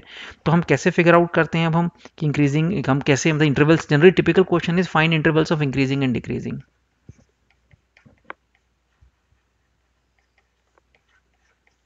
increasing and decreasing तो एक चीज़ बस एक ही कॉन्सेप्ट है इसमें। F dash X greater than equal to zero put f dash x greater than equal to 0 and solve for increasing intervals जब भी आपको इंक्रीजिंग इंटरवल्स निकालने हैं, देखना है फ़ंक्शन कहाँ इंटरवल कहाँ इंक्रीजिंग है। इंटरवल्स ऑफ़ इंक्रीजिंग है तो आप डेरिवेटिव लेके greater than equal to zero कर दो। F dash X less than equal to zero कर देंगे and solve for decreasing interval वो इक्वल टू साइन दोनों तरफ़ आ सकता है राइट तो वो जंक्शन पॉइंट आ जाते हैं, जहाँ इंक्रीजिंग डिक्रीजिंग के जो बीच के पॉइंट है, वो इक्वल टू साइन मतलब वो बात है। तो ये हम कॉन्सेप्ट लगाएँगे। इस पर अगर आपने जो भी थोड़ा बहुत आपने ये कॉन्सेप्ट सिंपल है, लेकिन दो, चार, पाँच क्वेश्चन इस पर आप थोड़ा सा रिवाइज कर लेना। कुछ क्वेश्चन मैंने भी मेरे पास भी हैं। तो एक बार देख लेते हैं यहाँ पर कि कुछ प्रॉपर्टीज़ हैं जो मैंने नोट्स में से कॉपी करी हैं, इतना इम्पोर्टेंट नहीं है। तो डेफिनेशन ही लिखी है मैंने बता दिया आपको इंक्रीजिंग कैसे निकालना है। यहाँ पे कुछ प्रॉपर्टीज़ हैं, अगर इंपॉर्टेंट नहीं है इतना। If F and G are both monotonically increasing और डिक्रीजिंग मोनोटोनिकली इंक्रीजिंग मतलब कि जिसमें एक ही बिहेवियर या तो इंक्रीजिंग और monotonic function is a function which behaves in single way इधर भी से इट इज़ इंक्रीजिंग और भी से डिक्रीजिंग तो इसे मोनोटोनिक फ़ंक्शन है। Right so so monotonically increasing word use कर लिए यहाँ पे फ़ंक्शन देन अब ये मेन है कि जो जियो एफ़ फ़ंक्शन है, जो जियो ऑफ़ एक्स है, ये अगर आप देखो इसमें, ये केस में बनाऊँ, यहाँ पे मैं एफ़ लिख रहा हूँ, यहाँ जी लिख रहा हूँ, यहाँ पे एफ़ ऑफ़ जी लिख रहा हूँ, और जियो ऑफ़ एक ही मतलब है बिहेवियर सेम है। अगर ये इंक्रीजिंग है, ये इंक्री दोनों इंक्रीजिंग है तो ये भी इंक्रीजिंग होगा। ये डिक्रीजिंग है, ये भी डिक्रीजिंग है ये इंक्रीजिंग होगा। ये इंक्रीजिंग है, ये डिक्रीजिंग है तो ये डिक्रीजिंग होगा। डिक्रीजिंग है इंक्रीजिंग है डिक्रीजिंग होगा। ये बिहेवियर है। Based on F and G जो गॉफ एंड फॉग हैं F of G X and G of F X हैं, उनके इंक्रीजिंग डिक्रीजिंग की प्रॉपर्टी बताइए और ये बड़ा सिंपल है। आपने ऐसे ही तो देखना है, ये बहुत ईजी है। डेरिवेटिव भी देखना है। अगर फ़ंक्शन आपका एफ़ ऑफ़ जी एक्स है तो आपने डेरिवेटिव लिया। D Y by D X लिया चेन रूल लगाया, ये बन जाएगा एफ़ डैश यहाँ पे जी एक्स है right into chain rule G dash X तो यही तो मतलब है, अगर देखो ये अगर इंक्रीजिंग मतलब ये पॉजिटिव है, अगर मान लो एफ़ डैश इंक्रीजिंग है, ये पॉजिटिव हो गया, ये पॉजिटिव हो गया, दोनों पॉजिटिव है तो मेरा ये वाई फ़ंक्शन जो है, वो पॉजिटिव हो गया इंक्रीजिंग हो गया। यहीं से देखा मैंने, देखो अब यहाँ पे, यहीं से निकाला है। मतलब डेरिवेटिव पॉजिटिव हो गया। मतलब इसको मैं एच एच कह देता हूँ उसको मैं एच डैश एक्स इसको मैंने एच कह दिया, बोलना आसान हो जाएगा, ये एच डैश एक्स है। तो एच डैश एक्स पॉजिटिव हो गया। ये पॉजिटिव हो गया मतलब इंक्रीजिंग हो गया एच डैश ऐसे ही यहाँ पे ये नेगेटिव है, ये नेगेटिव है, इनका प्रोडक्ट पॉजिटिव हो गया, फिर इंक्रीजिंग हो गया, देखो आप। अगर दोनों दोनों ही डिक्रीजिंग है, दोनों ही नेगेटिव है तो नेगेटिव नेगेटिव पॉजिटिव हो जाएगा। ये पॉजिटिव है, ये नेगेटिव है, ये नेगेटिव है, ये पॉजिटिव उसका मतलब क्या है? ये इंक्रीजिंग है पॉजिटिव मतलब डेरिवेटिव पॉजिटिव मतलब इंक्रीजिंग ये इंक्रीजिंग है, ये डिक्रीजिंग है डेरिवेटिव नेगेटिव ये डिक्रीजिंग है डेरिवेटिव नेगेटिव ये इंक्रीजिंग है। इस केस में क्या होता है? नेगेटिव बनता है इनका प्रोडक्ट नेगेटिव बनने से वो डिक्रीजिंग बन जाता है फ़ंक्शन ये मैंने टेबल में लिखा है। तो ये कि प्रॉपर्टी है, याद भी है, तभी ठीक है, नहीं याद, तभी ऑन द फ्लाई देख सकते हो आप। यही लिखा हुआ है। अगर फ़ंक्शन एफ़ एक्स इंक्रीजिंग है तो उसका रेसिप्रोकल डिक्रीजिंग होगा, वो कॉमन सेंस है, पता है। डेरिवेटिव लेके देख लो। वन बाय एफ़ एक्स है, उसको आपने देखना इंक्रीजिंग डिक्रीजिंग है डेरिवेटिव लिया आपने इसका। राइट इसका डी बाई डी एक्स से देख लो आप क्या आएगा। डेरिवेटिव लिया तो minus one by F X का square into F dash X आ रहा है। देखो आप क्लियर आ गया कि ये पॉजिटिव है तो ये माइनस की वजह से नेगेटिव हो जाएगा। ये इंक्रीजिंग है तो माइनस लगने से डिक्रीजिंग हो जाएगा। ये डिक्रीजिंग है तो माइनस लगने से इंक्रीजिंग हो जाएगा। तो रेसिप्रोकल का जो डेरिवेटिव है वो अपोजिट होता है। साइन उसका अपोजिट होता है। तो फ़ंक्शन अगर इंक्रीजिंग है तो रेसिप्रोकल डिक्रीजिंग है। फ़ंक्शन डिक्रीजिंग है तो रेसिप्रोकल इंक्रीजिंग है। तो ये यहाँ पे लिखा हुआ था। तो इसके क्वेश्चन बड़े टिपिकल होते हैं। मैं दो तीन एग्ज़ाम्पल यहाँ पे लिए हुए हैं। कि अगर आप देखेंगे ये वाला एग्ज़ाम्पल पहला एग्ज़ाम्पल जैसे मैं यहाँ पे क्विकली सॉल्व करूँ just for the sake of practice कि हमारा ये टॉपिक रिवाइज हो जाएगा। फिर कि टिपिकल क्वेश्चन है, कैसे करना है ये to find intervals of increasing and decreasing of this function तो मैंने बड़ा सिंपल क्वेश्चन है मार्क्स बिल्कुल लूज नहीं करेंगे डेरिवेटिव लिया मैंने तो फोर यहाँ आ गया। So six X cube minus six X है ये। सिक्स कॉमन लिया एक्स स्क्वेयर एक्स कॉमन लिया एक्स स्क्वेयर माइनस वन आता है, फिर फर्दर फैक्टराइज कर लिया six X into X minus one into X plus one अब ये देखो आप, इसका साइन तो पता ही होगा, आना ही चाहिए मेथड ऑफ़ इंटरवल्स बेबी कर मेथड लास्ट क्लास में भी क्वेश्चन थे इसके। ये तो आपको आना चाहिए कि पहले इनको प्लॉट कर दो इनके सारे जंक्शन पॉइंट को क्रिटिकल पॉइंट को, जहाँ पे ये ज़ीरो होते हैं एक्स ज़ीरो किया एक्स माइनस वन भी ज़ीरो कर दिया एक्स प्लस वन भी ज़ीरो कर दिया ज़ीरो करके तीन पॉइंट निकाल लिए zero minus one one plot के नंबर लाइन में असेंडिंग ऑर्डर में वेवी कर मैथड यही कहता है या या मेथड ऑफ़ इंटरवल जो भी नाम है, उसका राइट मोस्ट में प्लस होता है, फिर माइनस है, फिर प्लस है, ये माइनस है तो alternate it bears alternate plus minus sign this expression bears alternate plus minus signs ये. मुझे कहाँ से, अब मेरे को जैसे ही साइंस पता चल गया तो मुझे समझ आ गया यहाँ पर फ़ंक्शन इंक्रीजिंग है क्यों डेरिवेटिव पॉजिटिव है. डेरिवेटिव के साइन निकाला है मैंने. डेरिवेटिव के साइन देखे थे यहाँ मैंने. यहाँ फ़ंक्शन इंक्रीजिंग है बिकॉज़ डेरिवेटिव पॉजिटिव है. यहाँ डिक्रीजिंग है बिकॉज़ डेरिवेटिव नेगेटिव है, यहाँ डिक्रीजिंग है तो इंक्रीजिंग के इंटरवल मुझे लिखने हैं तो मैं ऐसे लिख लेता हूँ. X belongs to generally open interval लगाते हैं सब जगह. That's what given in NCERT close interval मत लगाओ, सब जगह ओपन ही चलेगा। एग्ज़ाम में जो आएगा मतलब आपको don't ignore the end points में ध्यान रखना है। One to infinity end points को इग्नोर कर देंगे। अगर आंसर में जनरली ऐसे होगा चॉइसेस में एग्ज़ाम में क्वेश्चन आएगा, अगर स्क्वायर ब्रैकेट है, उसको टिक कर दो। तो कभी भी कंफ्यूजन नहीं होगी। एक ही ऑप्शन होगा विद ओपन ब्रैकेट्स और स्क्वायर ब्रैकेट्स डिक्रीजिंग में नेगेटिव देखना है। तो डिक्रीजिंग इंटरवल ये आ गए मेरे माइनस इन्फिनिटी से minus one union zero to one. इसी से, इसी यहीं से उठाया मैंने, कहा नेगेटिव है, वो डिक्रीजिंग है। जहाँ पॉजिटिव है, वहाँ इंक्रीजिंग है। इसी इसी टेबल से उठाया मैंने। तो ये बड़ा टिपिकल क्वेश्चन था। डेरिवेटिव लिया आपने। डेरिवेटिव का साइन देख लिया, कहाँ पॉजिटिव है, वो इंक्रीजिंग है, और कहाँ नेगेटिव है, वो डिक्रीजिंग ऐसे आ गया। अगर अल्जेब्रिक है तो फिर तो मेथड ऑफ़ इंटरवल से काम हो जाता है। लेकिन अगर जैसे ये वाला क्वेश्चन था, अगर मैं देखता हूँ लॉग वाला, ये थोड़ा डिफरेंट क्वेश्चन है।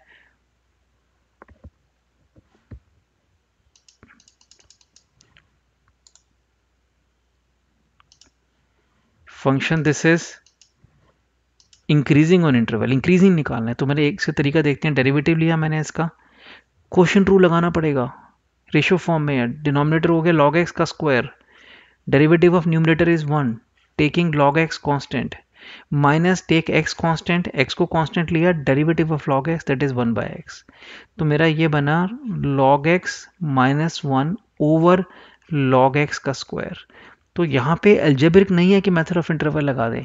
तो इसका जो इजी मेथड है, मैं उसकी बात करूँगा अभी। ग्राफ वगैरह से भी देख सकते हैं, वो भी देख सकते हैं।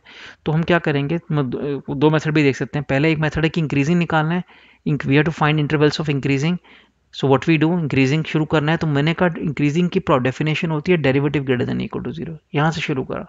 इंक्रीजिंग का मतलब है derivative greater than equal to zero this implies that log X minus one greater than equal to zero इसको सॉल्व करना है इनक्वालिटी को मुझे लॉग की इनक्वालिटी को।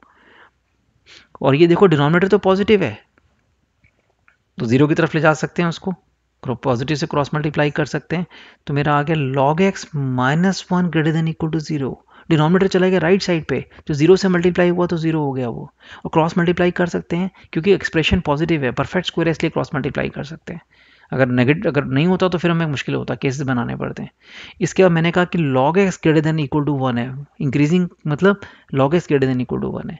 और इसके बाद मैंने यहाँ से आंसर निकाल लिया, ये आ गया X greater than equal to E हो गया। ये आ गया मेरा। तो ये आपने रिज़ल्ट याद रखना है, जब भी ऐसे होगा log of X you know log of M on base से ग्रेटर देन बी है। तो अगर ए रिज़ल्ट बहुत काम आते हैं एम अगर मेरा ग्रेटर देन बेस मेरा सॉरी बेस मेरा अगर वन से ज़्यादा है तो ऐसे कर लो आप M greater than A to the power B है। बेस अगर ज़ीरो से वन के बीच में है तो साइन चेंज हो जाएगा। M less than A to the power B है। तो ये रिज़ल्ट आपने याद रखना है, कैसे लॉग हटाते हैं यहाँ पे। हम सीधा करना है इसमें कि m जो m देखना है, m क्या होगा? अगर बेस वन से बड़ा है तो m greater than A to the power B equal to नहीं m greater than equal sign same रहा। Base greater than one sign same रहेगा। बेस ज़ीरो टू वन में साइन चेंज होगा यहाँ ग्रेटर था, यहाँ लेस आ गया। अगर इक्वल टू भी होंगे तो मैं इसी को इसी को ही मैं करूँगा। अगर मेरा इक्वल टू भी है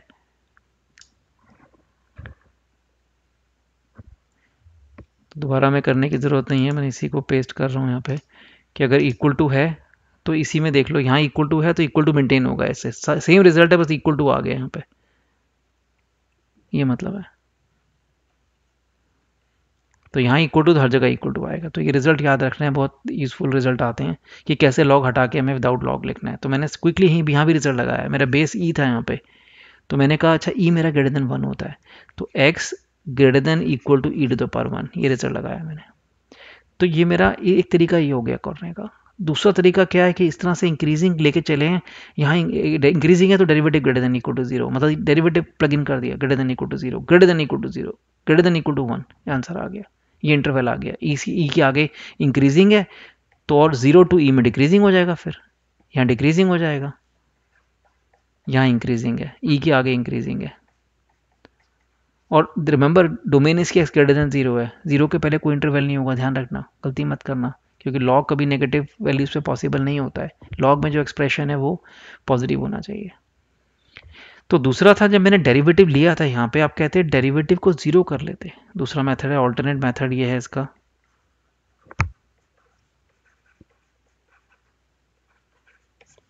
Derivative equal to zero derivative zero मतलब मैंने ज़ीरो कहाँ पे आ रहा है? लॉग एक्स वन है जहाँ पे। एक्स इक्वल टू ई है। ये ई e पे मेरा डेरिवेटिव ज़ीरो है। तो मैंने क्या देखा कि मुझे ई e पे डेरिवेटिव ज़ीरो है तो एक तरफ़ पॉजिटिव होगा, एक तरफ़ नेगेटिव होगा। तो दूसरा मेथड ये शायद थोड़ा कुछ लोगों को डिफ़िकल्ट लग सकता है। तो मैंने ई e के पहले जाके देखा कि डेरिवेटिव नेगेटिव है या पॉजिटिव है और ई e के आगे जाके देखा।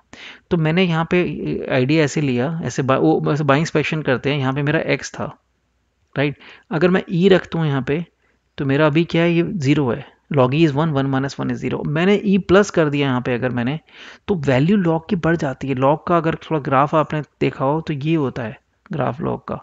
जो ई e पे, जो आपकी ई e पे वन वैल्यू आती है तो मैं थोड़ा आगे गया हूँ। आगे जाऊँगा तो वैल्यू बढ़ती है इंक्रीजिंग फ़ंक्शन है लॉग अब ई से आगे करोगे तो वैल्यू बढ़ेगी। ये बड़ा हो गया वन से। ग्रेटर देन ज़ीरो हो गया। आगे जाके पॉजिटिव हो रहा है। ई के आगे जाके। तो यहाँ पॉजिटिव है डेरिवेटिव यहाँ नेगेटिव हो जाएगा। ये मतलब है कि अगेन आई रिपीट कि इसको ऐसे देखते हैं बाइंस पेशेंट जो देख सकता है वही सोचे, नहीं सोचे भाई, ऐसे करो, दूसरा मेथड है। कि मैंने यहाँ पे ई प्लग इन किया एक्स की जगह। लॉग ई मेरा वन हो गया वन माइनस वन ज़ीरो है, हमने निकाला है। अगर मैंने यहाँ ई e प्लस कर दिया ई e से आगे जा रहा हूँ तो लॉग भी आगे बढ़ेगा वन से, क्योंकि इंक्रीजिंग फ़ंक्शन है राइजिंग फ़ंक्शन है। अगर आप एक्स को बढ़ाएँगे तो लॉग भी बढ़ेगा। राइज कर रहा है इसलिए।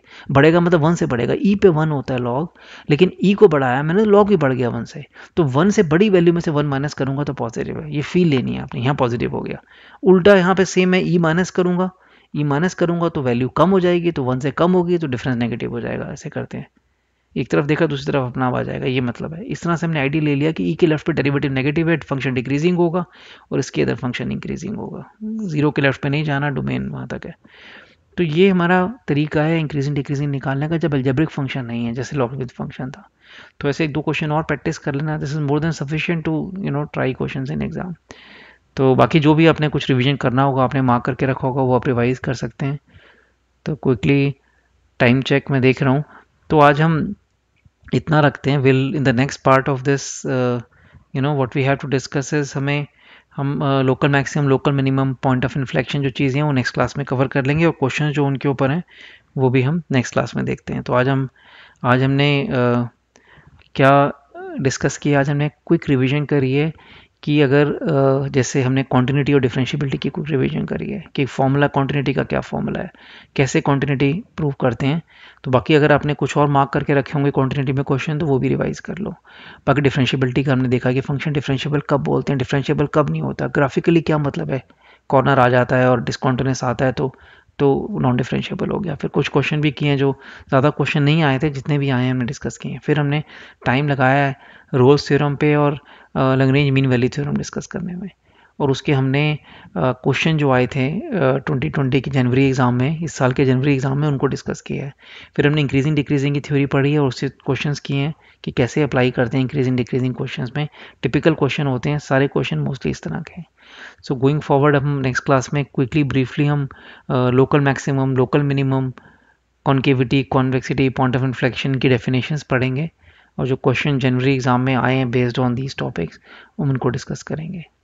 Okay thank you guys if you like this revision class और अब यहाँ तक अभी आप सुन रहे हैं लास्ट हो गई है क्लास खत्म हो गई है if you are still in the part still in the class you are so it means you are able to understand the class so do like this video and encourage the हो everyone including me thank you guys.